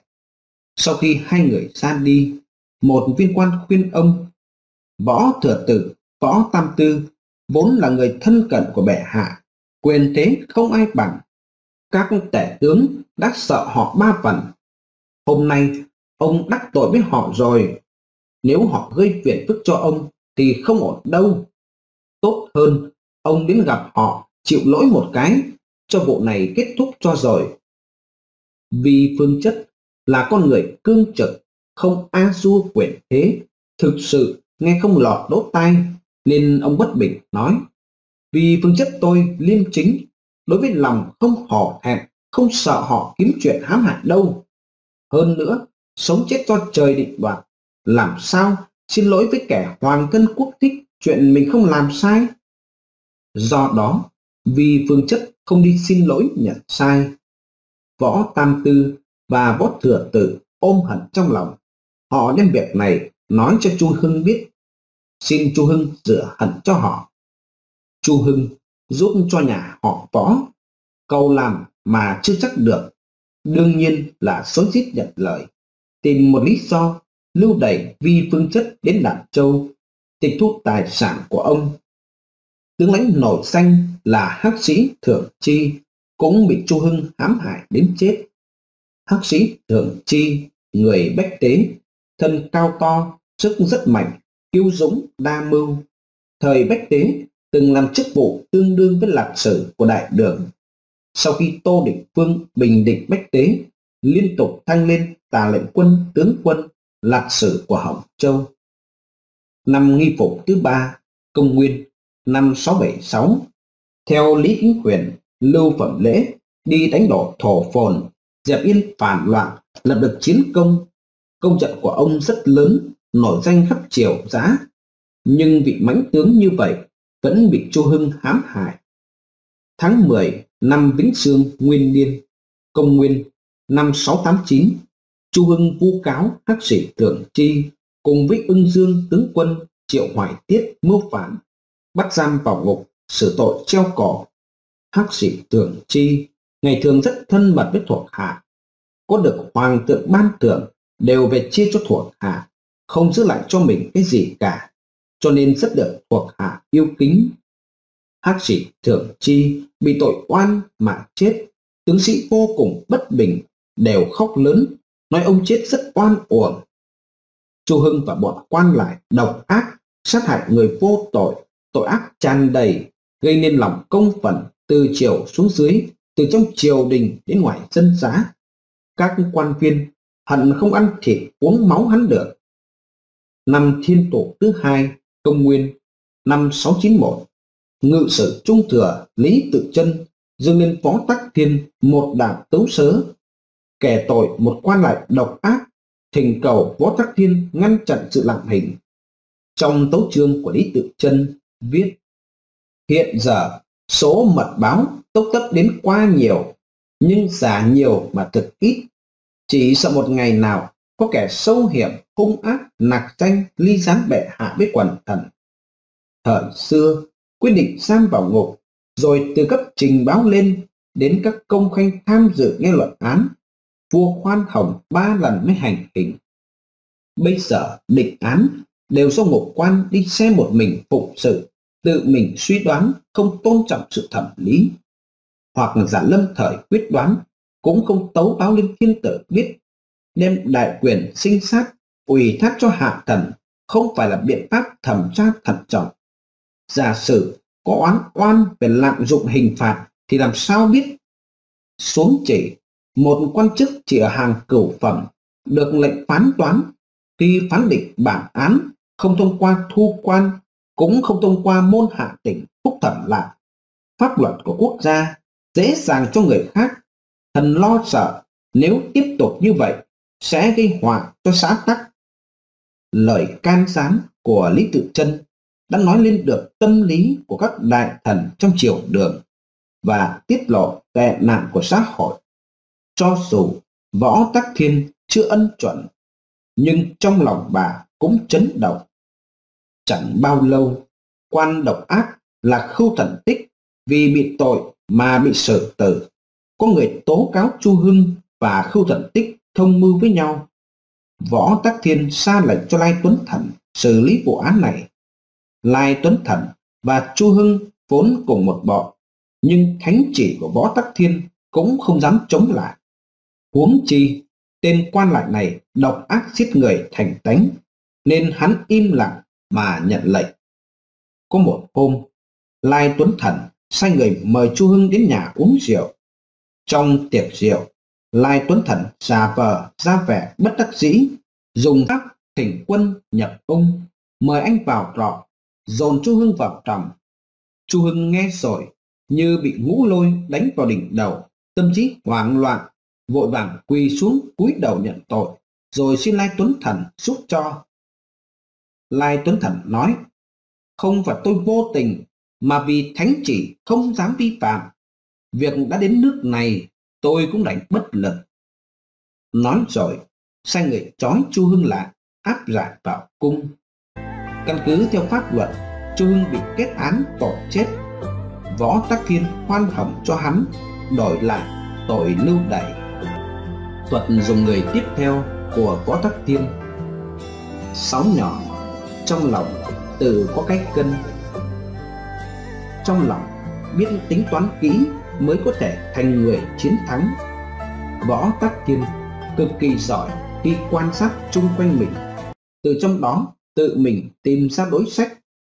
Điều này có quan hệ trực tiếp với sự tư duy sáng suốt và phản ứng nhạy bén của bà. Nhãn quan sắc bén của Võ Tắc Thiên chỉ có người phi thường mới có thể so sánh được. Bà là một cao thủ khéo giải quyết mọi vấn đề. Trưng Sương Tông, Trương Dịch, vì được võ tắc thiên sủng ái suốt nhiều năm, quyền lực khuynh đảo cả triều đình. Thuận theo họ thì được đỡ thêm, chống lại họ là sẽ bị hãm hại, nhanh chóng bị dồn vào chỗ chết. Hai người họ trương này, dân thích được người ta nịnh bợ tắm dương cho nên đa số đại thần trong triều đều tân bốc họ. Võ tam tư giỏi hơn ai hết trên con đường này, nên tấu với võ tắc tiên sương tông là hóa thân của tiên trưởng, vương tử tấn, thời thượng cổ. Vì vậy, võ tắc thiên mô phỏng theo cách phục sức của vũ tử tấn trong truyền thuyết, ra lệnh cho sương tông mặc y phục được chế tạo bằng lông chim, thổi ống tiêu, ngồi trên con hạc cố được chế tạo bằng loại gỗ mộc hương cao cấp nhất, đặt ở giữa sân hoàng cung lui tới vui chơi, trở thành một trò vui một thời võ văn đại thần đều tranh nhau làm thơ tán thưởng để lấy lòng của sương tông và võ tắc tiên. Lúc đó, loan đại thị lang là dương tái tư cũng bắt chước theo sự nịnh hót của võ tắc thiên hắn từng nói với mọi người là người rất khó, người cương trực, thường rước họa vào thân. Nếu không biết nhún mình mà làm việc thì làm sao bảo vệ cái thân của mình được? Dương tách tư nhờ nịnh bợ hai người họ trương mà được thăng chức lên làm nội sử càng cảm thấy con đường này có thể đi được cho nên càng ai xua định hót hai người họ trương đó lúc bấy giờ trong triều đều tranh nhau tán dương cái nghi biểu rất đẹp của Sương Tông. Có người nói Lục Lang chỉ Sương Tông, mặt đẹp như hoa sen, chỉ có Dương Tái Tư là không tán thành, mắng lớn rằng họ nói lời hoang đường. Trương Xuân Tông trong lòng rất không vui, chất vấn Dương Tách Tư. Dương Tách Tư thông song đáp, kẻ nói lời đó hoàn toàn không theo thứ tự của ngôn ngữ, đảo ngược thị phi. Lục lang đâu có lý nào giống hoa sen? Phải nói là hoa sen giống lục lang chứ. Lục lang nghe câu nói đó bất giác trong lòng vô cùng khoan khoái khen ngợi. Dương Tách tư một phen không hết lời nương vào thế lực của trương sương tông người anh của hắn là trương đồng thể vào triều làm quan, làm chức tư lễ thiếu khanh còn người em trai là trương sương nghi, làm huyện lệnh Lạc Dương. tư lễ thiếu khanh và huyện lệnh của Lạc Dương, tuy không phải là quan chức cao gì, nhưng ỷ vào thế lực của Trương Sương Tông mà tác oai, tác phúc, tung hoành, chẳng sợ ai cả. Trương Sương Nghi là bá đạo nhất. Trương Sương Nghi là huyện lệnh của Lạc Dương. Đáng lý ra cũng phải cung cung kính kính với quan trưởng sử của Lạc Châu mới chọn trách nhiệm của một vị quan thuộc hạ. Nhưng hắn ý thế của anh mình thực sự trong mắt của hắn không xem quan trưởng sử ra gì. Vào nha môn của quan trưởng sử như vào chỗ không người, tự do tản bộ như bình thường. Các viên trưởng sử đều im lặng, nhẫn nhịn, mặc cho hắn ngang sọc sau đó túc chính trung thừa là ngụy nguyên trung kiêm nhiệm chức trưởng sử của lạc châu nguyên trung làm việc rất nghiêm minh đối với hành vi không cung kính của Trương Sư Nghi nhiều lần giáo huấn. Gia nô của Trương Dị, ý thế lực của họ Trương cũng tự tung muốn làm gì thì làm. Giữa ban ngày trong thành thị hung hăng đánh trị dân, làm rối loạn trị an. Ngụy Nguyên Trung biết được, liền sai bộ khoái đi bắt gia nô của Trương Dị đem về quy án phán quyết xét xử. Ngụy Nguyên Trung mấy lần động thỏ trên đầu của anh em họ Trương nên họ hận Nguyên Trung thấu xương. Võ Tắc Thiên không biết tình tiết bên trong. Do Nguyên Trung có quân công lại là tôi thần quất tài lý chính, nên thăng làm quan chức đồng bình trương sự tể tướng. Sau khi Ngụy Nguyên Trung là tể tướng, đầu tiên là cản ngăn việc bổ nhiệm con trai của Trương Dị là Trương Sương Kỳ làm lạc sử Ung Châu, rồi tâu lên Võ Tắc Thiên. Thần ở ngôi vị tể tướng không thể tận trung tử tiết ngược lại để có tiểu nhân thường ở bên cạnh bệ hạ tội đáng chết vạn lần. Võ tắc thiên sau khi nghe xong vô cùng không vui. Trương sương tông và trương dị vốn đã ôm hận trong lòng thấy võ tắc thiên có chỗ bất mãn đối với ngụy nguyên trung liền thừa cơ ngụy tạo tội trạng muốn đưa Nguyên Trung vào chỗ chết. Từ lễ giám cao tiễn, từng ân ái với Thái Bình công chúa, thường tới lui trong cung nội. Vì Thái Bình công chúa luôn luôn tránh né hai anh em họ Trương, nên trong lòng họ có ý ghen với Cao Tiễn, đã từ lâu tìm cơ hội trị hắn. Khổ là không có kế sách. Lần này, hai anh em họ Trương nghĩ ra một độc kế, một viên đạn bắn hai con chim. Có một lần, Võ Tất Thiên ngã bệnh, nằm liệt giường, liên tiếp mấy ngày không ngồi dậy được. Hai anh em họ Trương hầu hạ bên cạnh. Một hôm, trời vừa chập tối, hai anh em họ Trương dâng thuốc cho Võ Tắc Thiên, cố ý thì thầm to nhỏ, rồi nói đến hai chữ thái tử, nghe rất rõ ràng. Võ Tắc Thiên nghe đến hai chữ thái tử, lại thấy họ thì thầm to nhỏ, biết chắc là có ẩn tình, liền theo thào hỏi. Sương Tông, Sương Nhị, hai khanh đang nói chuyện gì vậy? Muốn dấu chấm à? Hai anh em họ Trương, cố lộng huyền hư, nói, thần không dám giấu bệ hạ, nhưng việc này có liên quan đến tể tướng, không dám tâu cáo. Tể tướng à, việc gì thế?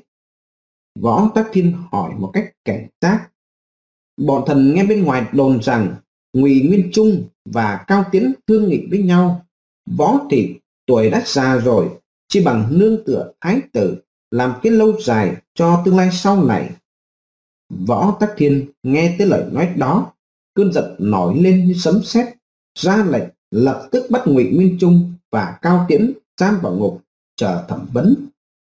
Một mặt, Triệu Thái tử, Tương Vương và các vị tể tướng vào hội thẩm để Sương Tông và Ngụy Trưng đối chất.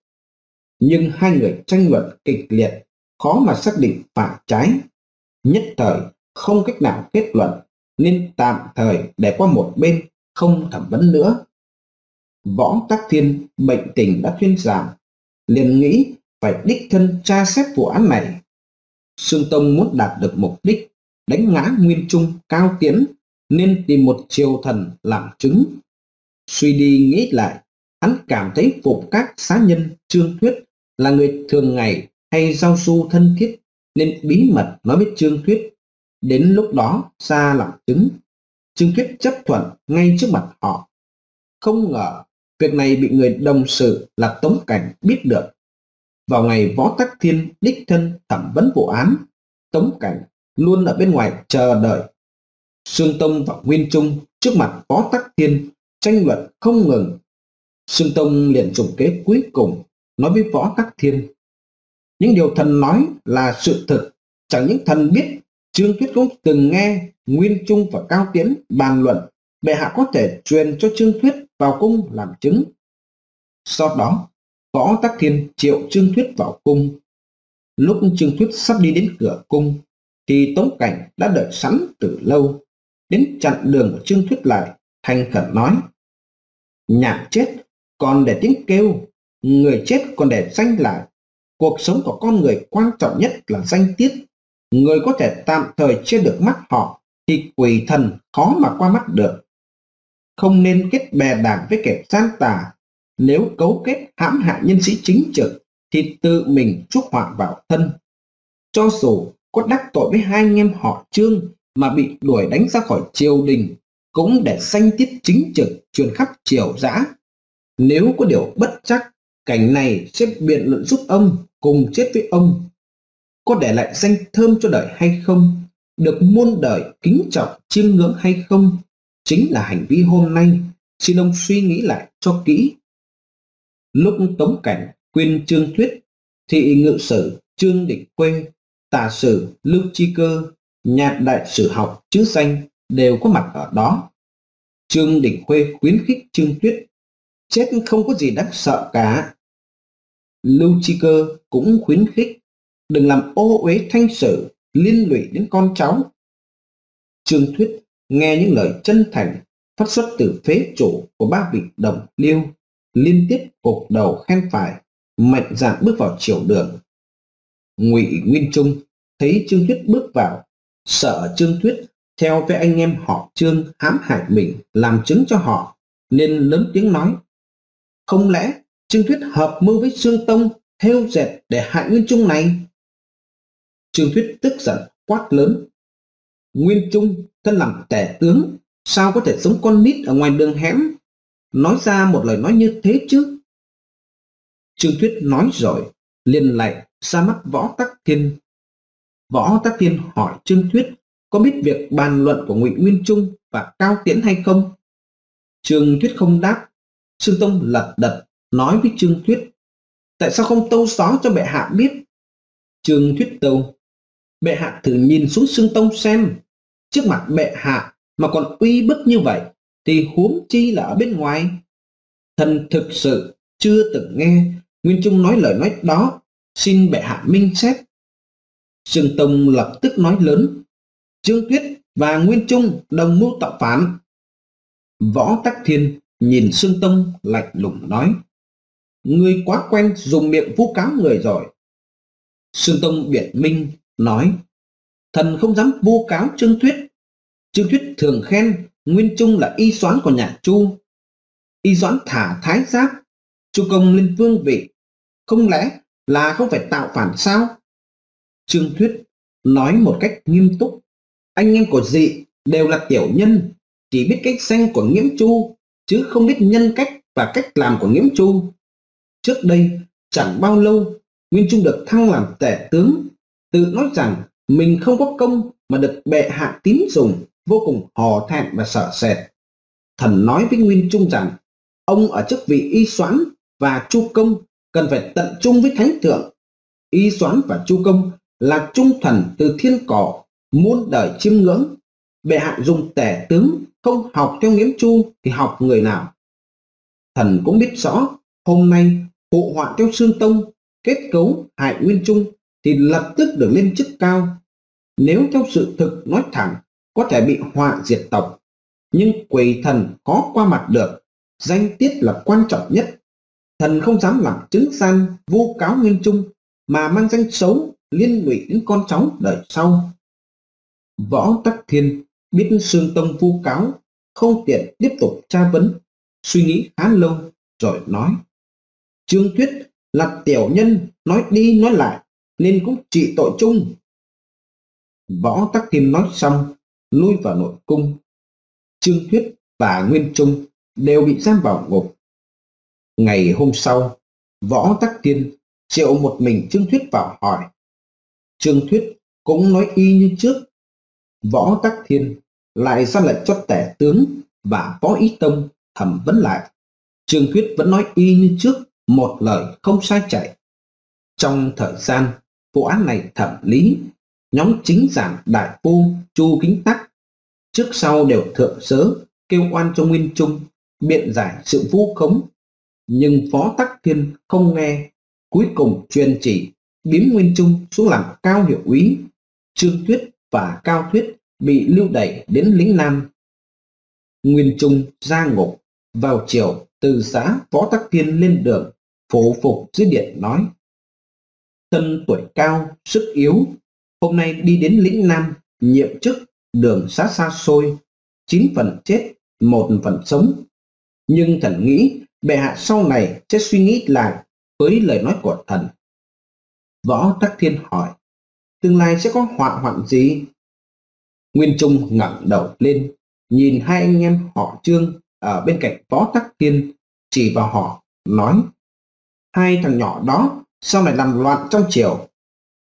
Hai anh em họ trương lật đật xuống điện cúi đầu, vừa lạnh vừa lớn tiếng kêu oan. Võ tắc thiên quát, ra lệnh cho nguyên trung lui xa, rồi cùng hai anh em họ trương lui vào nội cung. Buổi sáng, ngày nguyên trung rời kinh thành đi nhậm chức.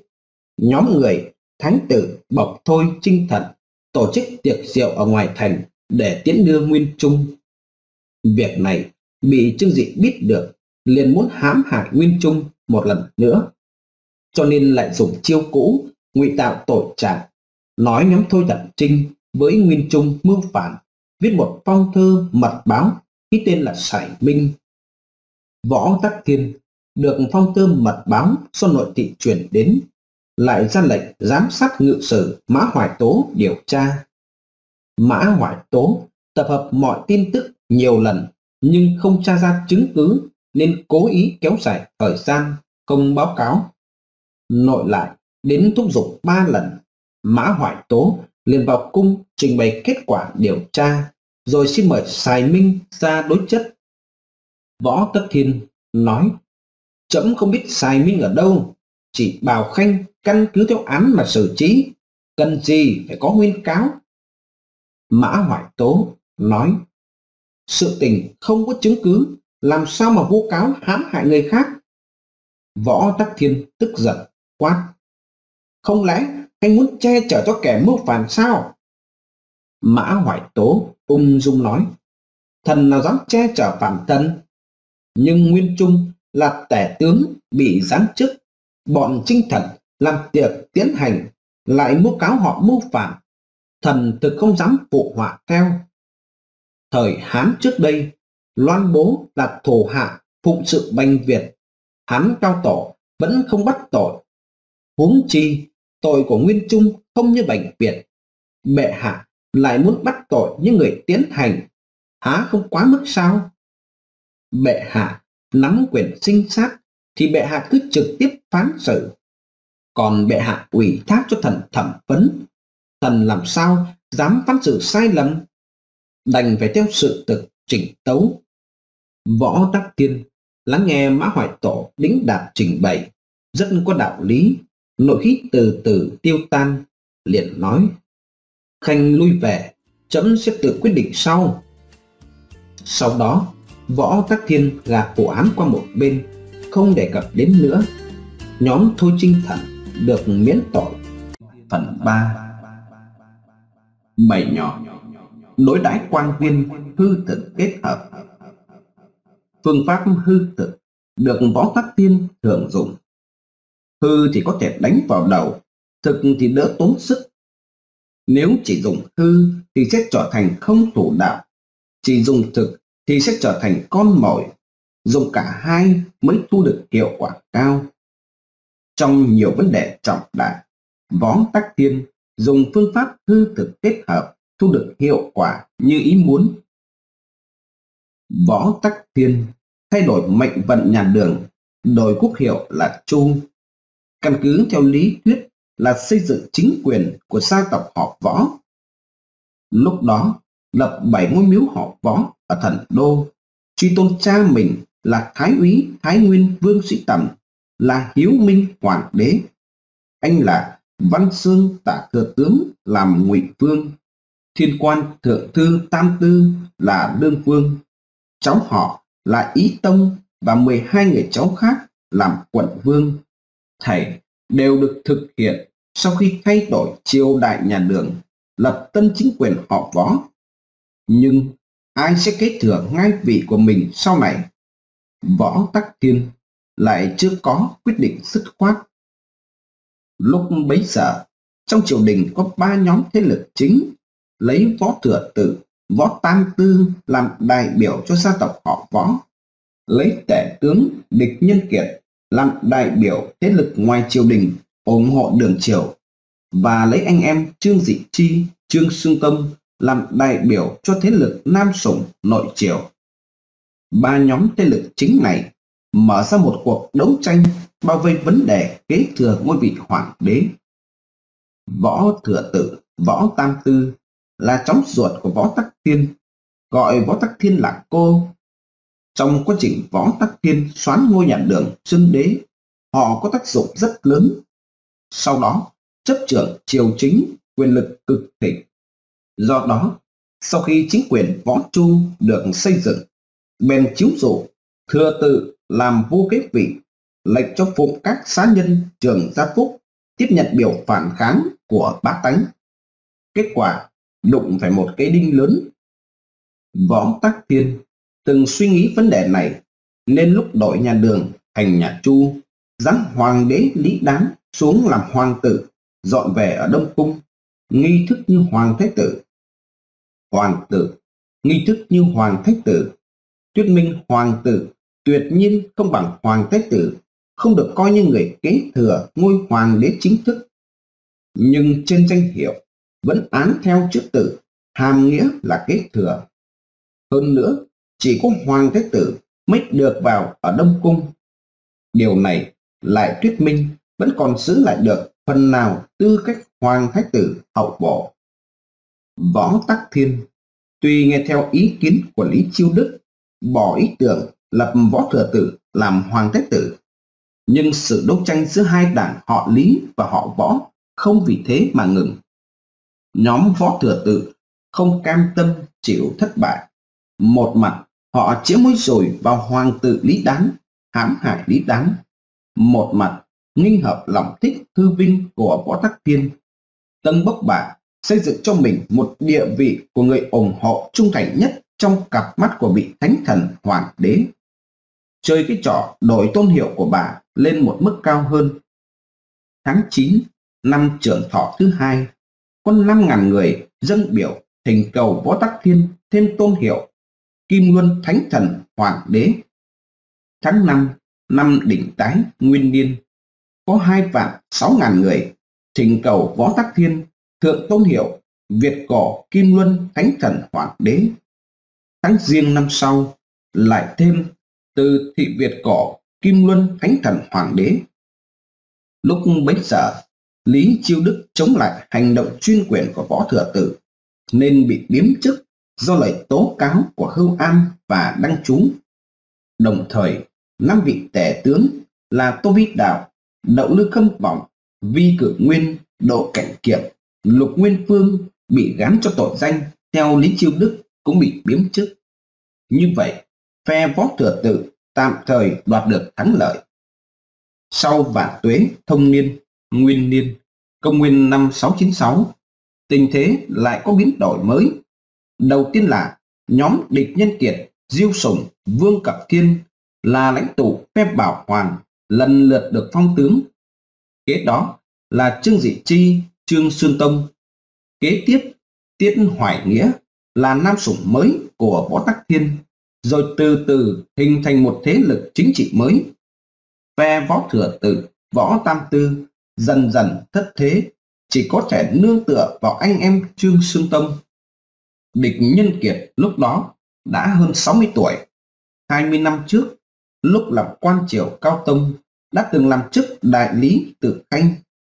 Ông là một vị pháp quan, luận các vụ án chính xác như thần cũng là một vị danh thần khôi phục lại triều đại trung hưng của đại đường.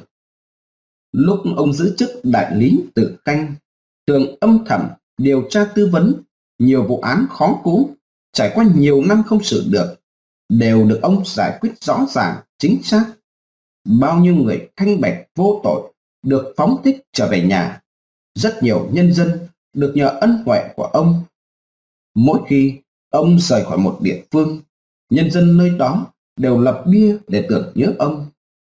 Địch nhân kiệt rất oán hận các ông hòa thượng giàu có xa xỉ đi làm Phật sự khắp nơi, lại không chịu cứu giúp người nghèo khổ.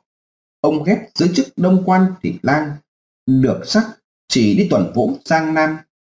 Thấy nơi đó có rất nhiều chùa am dâm dật, liền ra lệnh đóng cửa, tổng cộng 1.700 chùa miếu. Lúc Việt Vương Trinh khởi binh làm phản, ông đang làm thượng thư tỉnh tả bộc xạ. Ông phụng chỉ tra án. Lúc đó, có 670 người liên can bị giam trong ngục, chờ đợi thẩm vấn. Ông biết số dân này bị các vương thần cưỡng ép vào quân đội phục tịnh. Ông không những không nghe ý kiến của tể tướng Trương Quang phổ là xử tử số người bị giam cầm này. Ngược lại, còn tức giận bác bỏ không nên giết binh tốt đầu hàng để lập chiến công. Trương Quang phổ cho địch nhân kiệt ăn nói không khiêm tốn, tâu với võ tắc thiên, nên địch nhân kiệt bị biến chức xuống làm lạc sử ở Phúc Châu. Bây giờ, địch nhân kiệt lại được triệu về kinh để làm quan trong triều đình. Lúc địch nhân kiệt vào triều ít kiến, võ tắc thiên nói với ông, Khanh ở Nhữ Nam rất giỏi trị chính, nhưng có người hại ông Ông có muốn nghe tên họ của người đó không? Địch Nhân Kiệt trả lời. Thần không muốn nghe, xin bệ hạ không cần phải nói cho thần biết. Nếu thần phạm tội, vui lòng chịu tội. Nếu thần không hề phạm tội, bệ hạ chắc chắn hiểu rõ. Địch nhân kiệt làm tể tướng nhất định có tác dụng đối với sự phục hồi địa vị của Lư Lăng Vương. Võ Thừa Tử, Võ Tam Tư không hề ngừng hoạt động mưu cầu ngôi vị Hoàng Thái Tử. Mấy lần sai người đến thuyết phục Võ Tắc Thiên. Từ xưa đến nay, thiên tử không bao giờ lập người ở ngoài dòng họ làm người kế vị. Võ Tắc Thiên thỉnh giáo, địch nhân kiệt nói bệ hạ cần phải lập con ruột của mình làm thái tử đây là điều chắc chắn, không nghi ngờ gì nữa. Như vậy, muôn đời sau, mãi mãi, bệ hạ hưởng được tông miếu, vẫn là mẹ của thiên tử. Nếu tam tư lập tông miếu, thì sẽ vi phạm với luân lý. Thông thường, cháu và con ruột, anh phản lại mẹ? Mẹ con vẫn là mẹ con. Bệ hạ, sao lại bảo vệ hàng cháu của bệ hạ được? Võ Tắc Thiên không cách nào trả lời được câu hỏi này bởi vì bà cũng hiểu rõ bà không thể tưởng tượng mình trăm năm sau sẽ trở thành một con mát đói không ăn cúng tế. Bà cũng có thể tưởng tượng được sau khi bà qua đời, anh em họ Vũ chưa chắc là không bỏ rơi bà, thậm chí còn nhục mặn bà. Võ Tắc Thiên xưa nay rất kính phục trí tuệ phán đoán của địch nhân kiệt, nhưng bà vẫn không thể làm theo ý kiến của ông ngay được.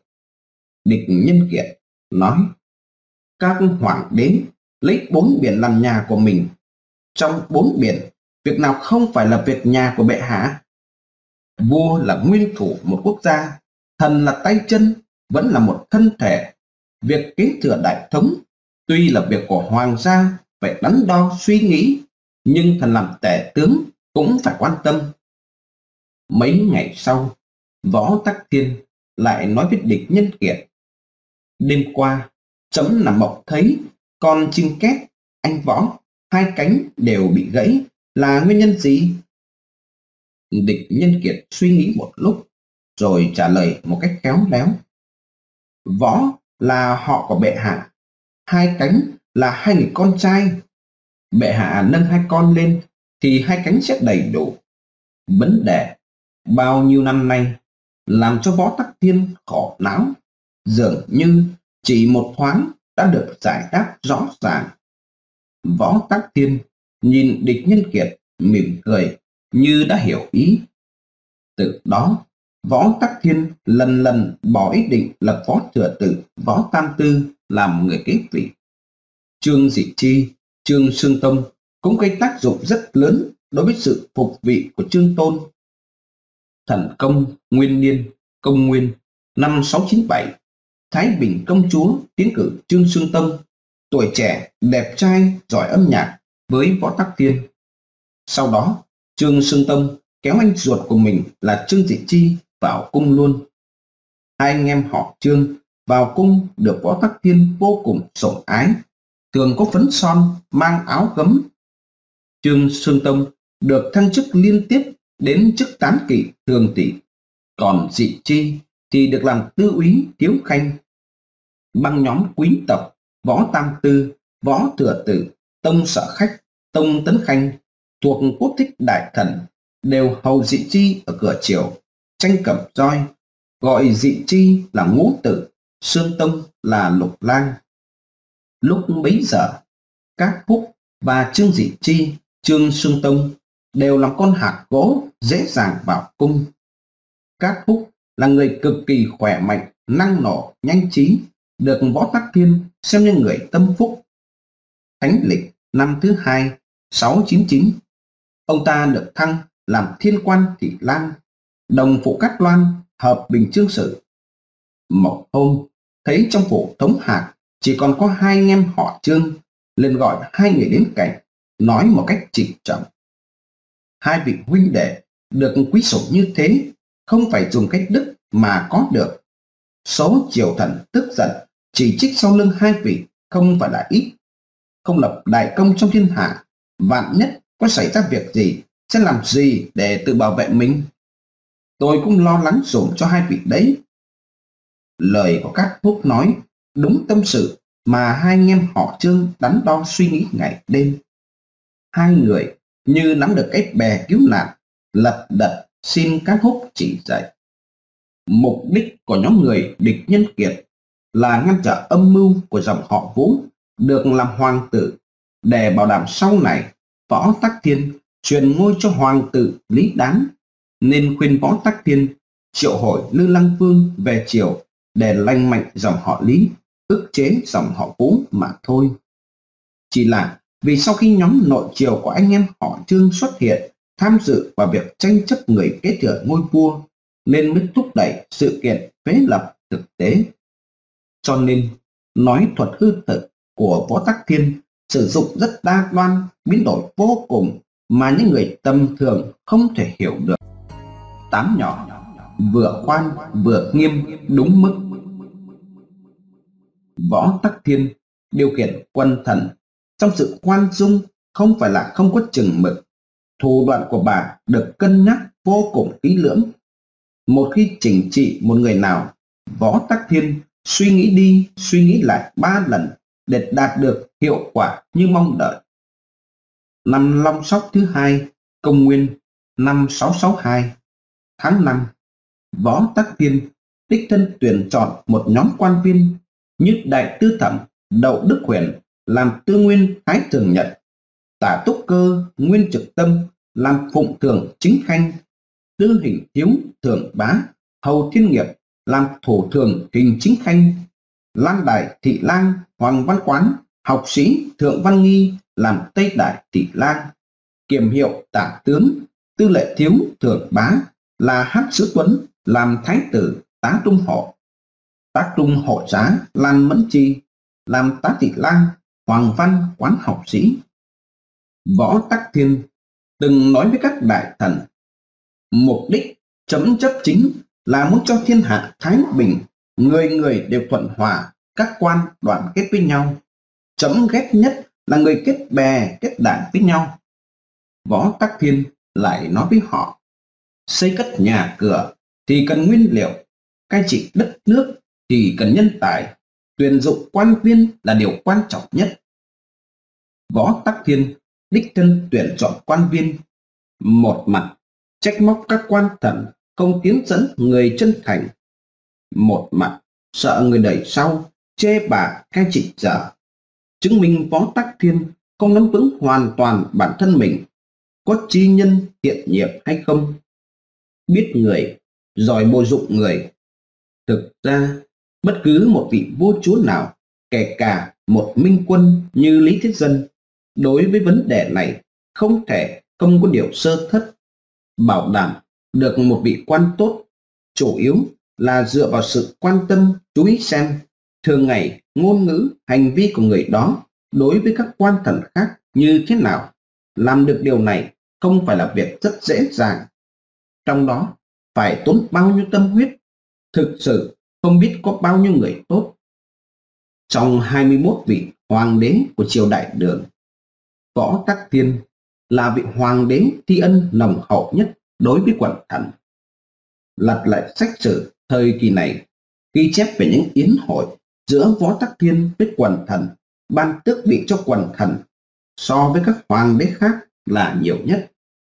Hành động này có liên quan đến quan niệm rằng bà và triều thần là một khối nhất thể, bà và cùng triều thần cùng cai trị thiên hạ. Thi ân rộng rãi vốn là một phương thức truyền thống các hoàng đế dùng để điều khiển quần thần. Về phương diện này, Võ Tắc Thiên biểu hiện rất nổi bật, thu hiệu quả rất rõ ràng. Lúc sổng tiệc, khi ban tước, Võ Tắc Thiên rất vui vẻ, biểu hiện rất sung sướng, xác thực là có thể làm cho thần kinh luôn căng thẳng của vua tôi trong chế độ quân chủ chuyên chế trở nên thư giãn, thoải mái, trong thời gian Phó Tắc Thiên ở ngôi, vì các đại thần có công lớn thời kỳ chính quán đã qua đời, chỉ còn có vài người. Võ Tắc Thiên đối với các vị này không chỉ giao cho nhiệm vụ quan trọng mà còn chiếu cố họ rất nhiều. Mỗi vị lão thần qua đời trong thời gian Phó Tắc Thiên ở ngôi đều được Võ Tắc Thiên chiếu cố. Thậm chí con cháu của họ còn được hưởng ân trạch do đức nghiệp của ông cha lo cho đất nước. Võ Tắc Thiên hạ chiếu ban tặng quan tước cho các cai quốc công thần. Trong gia đình, không có người nào làm quan ngũ phẩm trong triều, thì con và cháu nội cho đến cháu cố mỗi người đường thăng lên làm quan ngũ phẩm. Nếu trước đây đã có người làm quan tứ phẩm và ngũ phẩm, thì thăng cho con cháu người thứ thất làm hai cấp. Nếu từ tam phẩm trở lên, thì tăng tước lên một bậc. Những công thần hạng nhì không có người nào làm quan trong triều, từ hàng ngũ phẩm trở lên. Trước đây có người làm quan, hàng ngũ phẩm trở lên, ra thêm một cấp. Làm quan lục phẩm, tăng hai cấp. Làm quan tam phẩm trở lên gia tăng thêm một tước. Sự phong thăng này được tiến hành rất nhiều lần. Những liệt cử kể trên chẳng qua để nói việc này có quy mô khá rộng mà thôi. Mục đích võ tắc thiên dĩ nhiên chủ yếu là để thiết lập khuôn mẫu cho triều thần, kích bắt họ tận trung, tận tâm đối với nhiệm vụ và trên thực tế, hành động này đã phát huy tác dụng không nhỏ đều có thể phản ánh được tinh thần khoan dung của Võ Tắc Thiên không chỉ bằng thái độ của bà đối với các quan thần phạm lỗi. Năm Vĩnh Quy thứ ba, công nguyên, năm 652, quân đạo hành quân tổng quản là Lương Kiến Vương, phó tổng quản là Cao Đức Giật, bị quan ngự sử vạch ra tội danh là Lương Kiến Vương dụng binh chủ quan chậm chế tiến quân làm hỏng cơ hội tấn công. Cao Đức Giật tự động mua ngựa, lấy những con ngựa tốt cho riêng mình. Võ Tắc Thiên cho Lương Kiến Phương có công phá sạc đột quyết nên tha tội không hỏi. Đại Lý Khanh, Lý Đạo dũng tấu rằng những con ngựa mà Cao Đức Giật thu lấy làm của riêng khỏe mạnh vô cùng có thể bổ sung vào đàn ngựa của ngự lâm quân. Mùa đông, năm Long Sóc Nguyên Niên, Võ Tắc Thiên đi săn bắn ở Nam Sơn. Đại Thuận Phủ Quản Nghi là Vạn Hưng Vương Khinh bắn con một trước. Võ Tắc Thiên cả giận, tập hợp quân lại, muốn chém đầu ông ta. Nhưng Võ Tắc Thiên chợt suy nghĩ lại, rồi nói với quan hậu cận. Người phạm quân lệnh, tội không thể tha, nhưng sợ người ngoài nói chấm, vì thích đi săn bắn mà giết người, xem thường tính mạng của tướng sĩ. Lại lấy cớ, ông ta có công chinh phạt nước liêu mà đặc biệt xá tội. Tiết Nhân Quý làm hành quân đại tổng quản, bị nước thổ phiên phồn đánh bại, chịu tội lộ chức. Chẳng bao lâu, nước Cao Ly lại làm phản. Võ Tắc Thiên dùng Tiết Nhân Quý làm kê lâm tổng quản, dẹp yên Cao Ly. Năm Thương Nguyên lại mắc tội, lưu đẩy đến Tượng Châu. Chẳng bao lâu, lại xá tội cho về, lại phong làm lạc sử qua châu. Chẳng bao lâu, lại thăng làm thống lãnh quân vệ tướng quân, kiểm hiệu Đại Châu Đô Đốc. Tất vương Lý Nguyên Anh làm lạc sử Kinh Châu, kiêu căng phóng túng, tàn hại bá tánh, dùng đạn bắn người, xem người đó con né tránh được không để làm trò vui. Phó Tắc Thiên viết thư của trách nhẹ. Chấm xem Khanh là người trí thân, không nỡ ghép vào quốc pháp. Hành vi của Khanh làm lòng chấm hổ thẹn. Từ những ví dụ kể trên, chúng ta có thể nhìn thấy rõ Võ Tắc Thiên điều khiển quân thần trong sự khoan dung không phải là hoàn toàn không có chừng mực. Cách hành động của bà được suy nghĩ vô cùng kỹ lưỡng. Mỗi khi chỉnh trị một người đều được suy đi nghĩ lại nhiều lần để đạt được hiệu quả cần thiết. Thuận dùng người tiếp theo của Võ Tắc Thiên. Chín nhỏ, diệt trừ tận gốc hỏa hoạn tiềm ẩn. Người làm đại sự và tiểu sự đều giống nhau, luôn gặp nhiều nhân tố bất lợi. Trong cuộc sống của một con người tiềm ẩn không nhiều thì ít những hỏa hoạn do thương và ghét nếu không xử lý thích đáng có thể biến thành đại họa. Võ Tắc Thiên bất luận lúc nào, cũng đều đánh giá những người chung quanh mình để tìm ra những hoạt hoạn tiềm ẩn bên cạnh mình và kịp thời diệt trừ tận gốc rễ. Tuy cái chết của Lý Hoàng từ trên căn bản không giải trừ được sự uy hiếp mà Võ Tắc Thiên tạo ra để đường Cao Tông giao quyền bính lại cho bà. Bởi vì đường Cao Tông còn có người con khác kế thừa ngôi vị. Nhưng Võ Tắc Thiên tranh thủ được thời gian. Dưới chế độ chính trị tuyên chế, các hoàng đế có quyền tuyển chọn người kế vị của mình. Nhưng bồi dưỡng người kế thừa ngôi vị không phải là một công việc dễ dàng, nhất là cần có thời gian. Như vậy, kế hoạch đường cao tông nhường ngôi cho thái tử để thoát được sự khống chế của võ tắc thiên đành phải gác lại. Sau khi Lý Hoàng chết không bao lâu, người con trai thứ hai của đường cao tông và võ tắc thiên sinh ra là Lý Hiển được lập làm thái tử. Lý Hiển tự là Minh Mẫn Doãn, sinh vào cuối năm Bính Huy thứ năm công nguyên năm 654. Lý Doãn dung mạo đoan trang, ngôn hạch đúng lễ, được đường cao tông sủng ái. Lúc vừa mới mấy tuổi đầu, Lý Hiển đã biểu hiện lộ rõ tài trí xuất chúng. Lý Doãn đọc sách, chỉ xem qua một lượt là không quên, đắt đồ làm cho đường cao tông kinh ngạc. Điều làm cho đường cao tông vui sướng hơn là lúc Lý Hiển đọc luận ngữ đến câu hiền hiền dịch sắc thì đọc đi đọc lại nhiều lần. Đường Cao Tông liền hỏi Lý Hiển lý do. Lý Hiển đáp, tính con thực sự là thích như thế.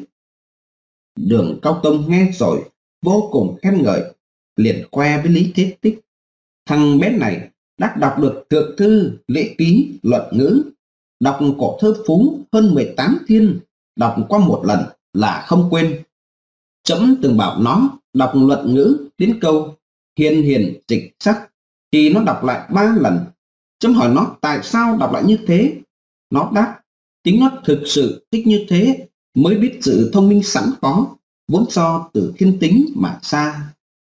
Người hiền xa rời nữ sắc là một nguyên tắc quan trọng của các vua chúa phong kiến cai trị đất nước. Lý Hiển lúc còn nhỏ đã hiểu được hàm nghĩa trong câu đó tự nhiên làm cho đường cao tông cho rằng Lý Hiển là một người kế vị rất lý tưởng. Năm thứ hai, sau khi Lý Hiển chào đời, được phong tước lộ vương, chức đô đốc U Châu, Ung Châu Mục. Sau đó, được phong làm bái vương, đại đô đốc, thú vệ tướng quân. Sau cải phong làm ung vương, lĩnh ung châu mục, kinh châu đại đô đốc, thực phong thiên họ. Năm thượng nguyên thứ hai, tháng 6, đường cao tông hạ chiếu, lập Lý Hiền làm hoàng thái tử, đại xá thiên hạ. Năm đó, Lý Hiền 22 tuổi, chẳng bao lâu, đường cao tông xa lại cho Lý Hiền làm giám quốc. Lý Hiền xử sự cẩn thận, quyết đoán sáng suốt, triều đình không ai không phục kiến thức rộng của ông. Đường Cao Tông vô cùng sung sướng chính tay viết sắc khen thưởng. Trong thời kỳ này, Lý Hiền triệu tập một nhóm học giả tiến hành chú thích quyền hậu hán thư của Phạm Diệp. Trong sách sử của Trung Hoa cổ đại được lưu truyền lại, hậu hán thư dùng sử liệu có thực mà viết ra thể lệ hoàn chỉnh giọng văn trôi chảy. Do đó mà nổi tiếng. Đặc biệt là phần luận tán do Phạm Diệp viết đã tổng kết những bài học kinh nghiệm bình luận sự thị phi đắc thất chỉ rõ những tệ đoạn ngụ ý rất sâu xa. Từ một góc độ nào đó những hành vi của lý hiền gây cho võ tắc thiên nghi kỵ và bất mãn võ tắc thiên đánh thuốc độc giết chết lý hoàng đảo lộn kế hoạch nhường ngôi thái tử của đường cao tông tiếp tục khống chế triều chính trong bàn tay của mình võ tắc thiên đang chờ đợi thời cơ. Từ sau khi đường cao tông đề xuất ý kiến nhường ngôi vị cho võ tắc thiên, tham vọng chính trị của bà càng bành trướng. Võ tắc thiên từ nội cung cho đến triều chính, từng bước một bành trướng quyền thế. Bây giờ đã có thứ mà mình chưa thỏa mãn trong tay. Mục đích của võ tắc thiên vô cùng rõ ràng là tiến tới chiếc ngai vàng của hoàng đế Nhưng sự trưởng thành của Lý Hiền khiến cho Võ Tắc Thiên gặp phải một địch thổ rất mạnh. Vị thái tử trẻ tuổi túc trí đa mưu này ra tay cực kỳ xảo diệu. Sự xử sự và quyết đoán sáng suốt khi mới được lập làm hoàng thái tử đã tranh thủ được sự yêu thích của đường cao tâm và sự tán dương của triều thần, lại lấy việc tu soạn sách sử để kéo một nhóm người về phe mình các văn học chi sĩ này về phe các trọng thần của thái tử ở nội cung, trong ngoài kết hợp thế lực với nhau đã đối lập với bắc môn học sĩ của võ tắc thiên điều khiến cho võ tắc thiên lo lắng nhất là cánh tay mặt và tay trái của bà hiện giờ đã không còn sống nữa. Lý Nghĩa Phổ vào năm Càn Phong Nguyên Niên Công Nguyên năm 666 đã chết ở Tôn Châu, nơi bị lúc đẩy. Hứa Kính Tông vào năm Hàm Hanh thứ ba chết vì bệnh lúc chí sĩ. Trong thời gian này, tể tướng triều đình có Đánh Chí Đức, Lưu Nhân Quý, Lý Kính Huyền, Cao Chí Chu, Tiết Nguyên Siêu, Trương Văn Quán, Lai Hằng, Hách Sử Tuấn, Lý Nghĩa Viêm, Trương Đại An. Các vị này phần lớn đều là kim nhiệm quán chức của Đông Cung. Tuy không phải toàn bộ đều là người thân tín của Thái tử, nhưng rõ ràng không phải là người trung thành của Võ Tắc Thiên. Do đó, thế lực của Võ Tắc Thiên trong triều đình không còn mạnh như trước. Nếu bây giờ Đường Cao Tông quyết định nhường ngôi cho Lý Hiền, Võ Tắc Thiên sẽ đối diện ngay tức khắc với tai họa ngập đầu. Trong thời kỳ này, con đường chính trị của Lý Hiền và Võ Tắc Thiên càng lúc càng đi đến chỗ rẽ rất rõ ràng. Vị thánh tử anh Tuấn và thông minh này tuy không giống như người anh nôn nóng sửa đổi lại sai lầm trong cách đối xử của mẫu hậu đối với hoàng tộc để tránh sự giận dữ của bà nhưng hành vi của Lý Hiển cũng làm cho Võ Tắc Thiên cảm thấy người con của mình không chịu thua mình. Để Lý Hiển thuận tùng theo ý chí của mình, Võ Tắc Thiên ra lệnh cho Bắc Môn học sĩ soạn quyền hiếu dương chính phạm, hiếu từ truyện, đem đến cho Lý Hiển đọc, rồi dùng hình thức văn chương để dạy cho Lý Hiển mấy bài học săn đe. Nào ngờ, vì thái tử tuổi trẻ khí thịnh này vốn không có ý định tùng phục người mẹ của mình. Lý Hiển có chủ trương của mình, có sự tín nhiệm của đường cao tông và sự ủng hộ của triều thần. Cái chết của Lý Hoàng đã cho Lý Hiển hiểu rõ tùng phục không thể nào cứu được tính mạng của mình. Đây chính là cuộc so tài về mưu trí và lực lượng. Lý Hiển không chỉ vì tiền đồ của chính mình, mà vì còn mệnh vận của vương triều đại đường mà phấn đấu, nên chuẩn bị chống đối với võ tắc thiên lý hiển không có ý định chống quyết liệt với mẫu hậu. Ông ta chỉ muốn kiên trì giữ chủ trương của mình, làm những gì mình muốn làm. Từ trong quyển hậu hán thư lý hiền học được nhiều thứ, hiểu rót đạo lý, tiểu bất nhẫn, tác loạn đại mưu. Lý hiền cố gắng tránh mọi xung đột trực diện với võ tắc thiên, không muốn đi theo bánh xe cũ của lý hoàng, đến nỗi phải bị đầu độc chết. Nhưng võ tắc thiên không chịu ngừng chiến một cách tốt đẹp. Bà không thể chấp nhận, thế tử thoát ra sự khống chế của mình, mỗi ngày một lớn lên để thực hiện giấc mộng đẹp của mình võ tắc thiên chuẩn bị đưa đứa con thứ hai của mình lên đoạn đầu đài năm nghi phụng thứ tư công nguyên năm 679. Đường Cao Tông một lần nữa ra lệnh cho Lý Hiển làm giám quốc.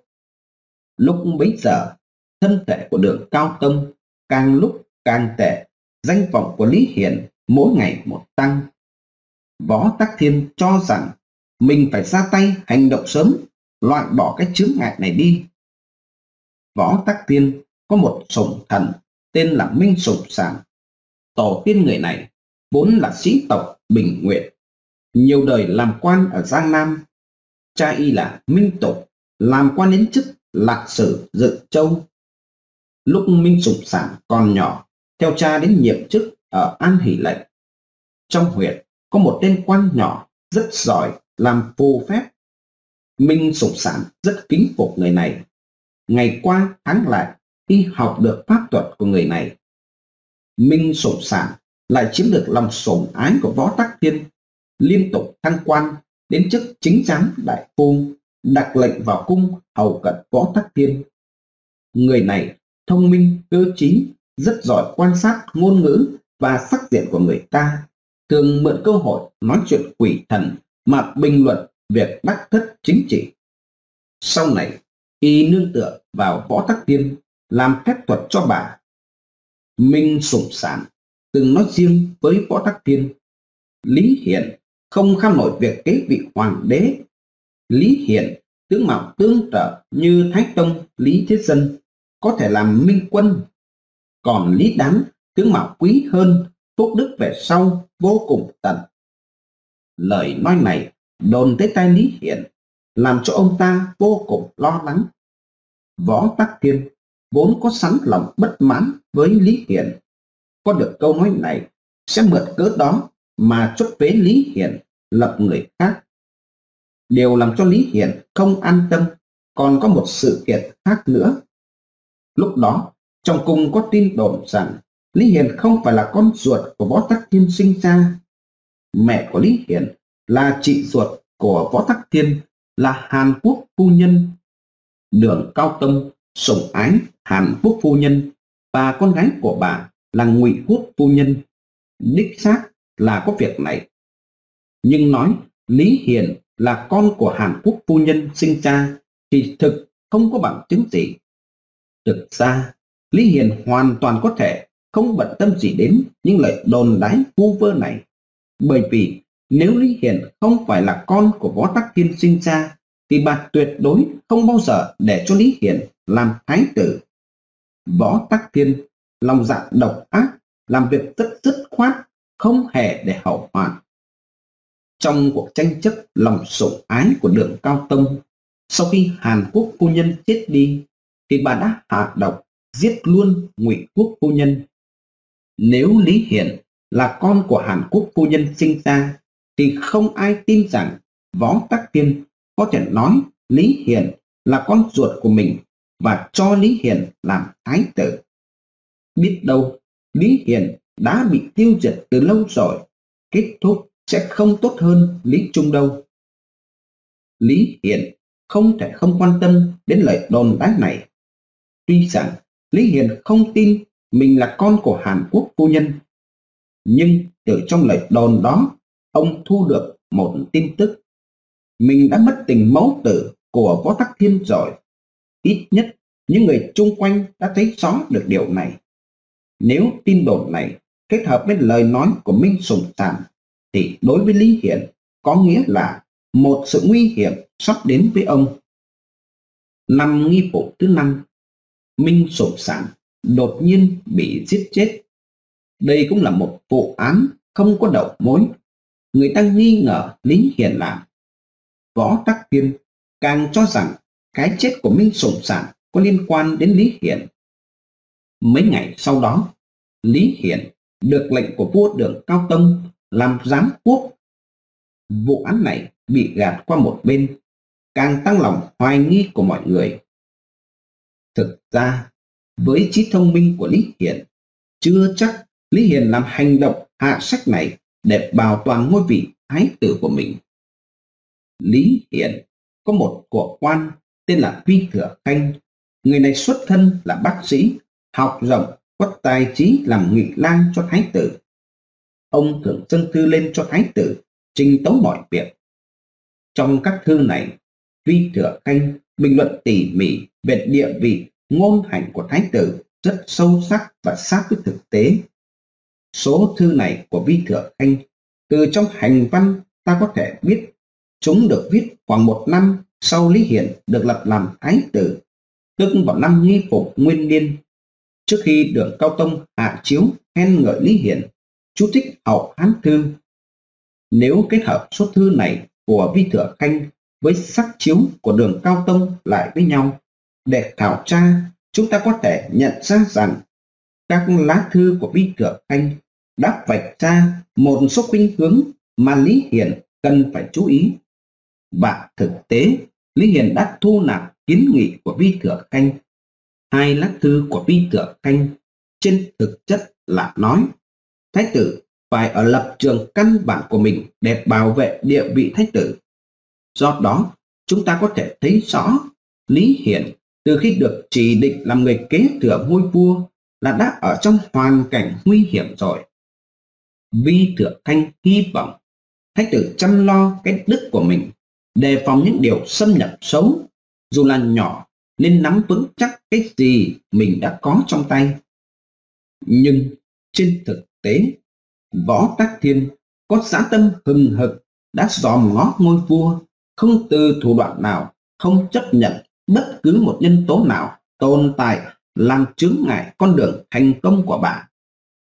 Năm Vĩnh Long, Nguyên Niên, Công Nguyên, năm 680, Võ Tắc Thiên lấy tội danh mê thanh sắc xuồng xã với bọn hộ nô triệu đạo xanh bán cho chúng nhiều vàng bạc lụa là sai người tố cáo lý hiển lên vua đường cao tông. Đường cao tông xa lệnh cho tể tướng tiết nguyên siêu bùi viêm bằng ngự sử đại phu cao trí trung thẩm vấn việc này. Họ lục soát trong chuồng ngựa của đông cung, lôi ra được mấy trăm sắc đen làm chứng cứ mưu phản, lại ép buộc triệu đạo sinh thừa nhận mình được lý hiển sai kiến ám sát chết minh Trùng sản. Do đó, tội mưu phản của lý hiển được thành lập.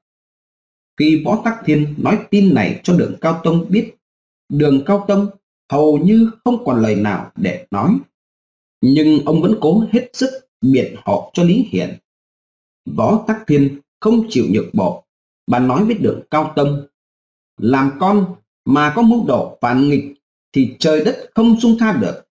Vì nghĩa lớn mà giết người thân thích sao có thể tha tội được? Đường cao tâm không còn cách nào khác hơn, đành hạ chiếu chuất với lý hiển xuống làm thứ dân sai người áp giải về kinh sư, giam vào ngục, đem tất cả xác đen lục soát được, đem đốt sạch ở phía nam cầu thiên tân để cho sĩ dân đều đó.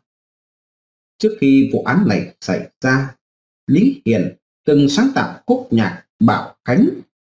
Lúc đó, lý tự chân là người rành âm luật nổi tiếng ở kinh sư. Đàn bản nhạc này ở an thái thanh quán nói với đạo sĩ lưu khái phổ y, khúc nhạc này, sao nghe buồn bã quá vậy? Hai người kia đáp, đây là khúc bảo khánh do thánh tử sáng tác đấy. Nhạc là tiếng nói của con tim.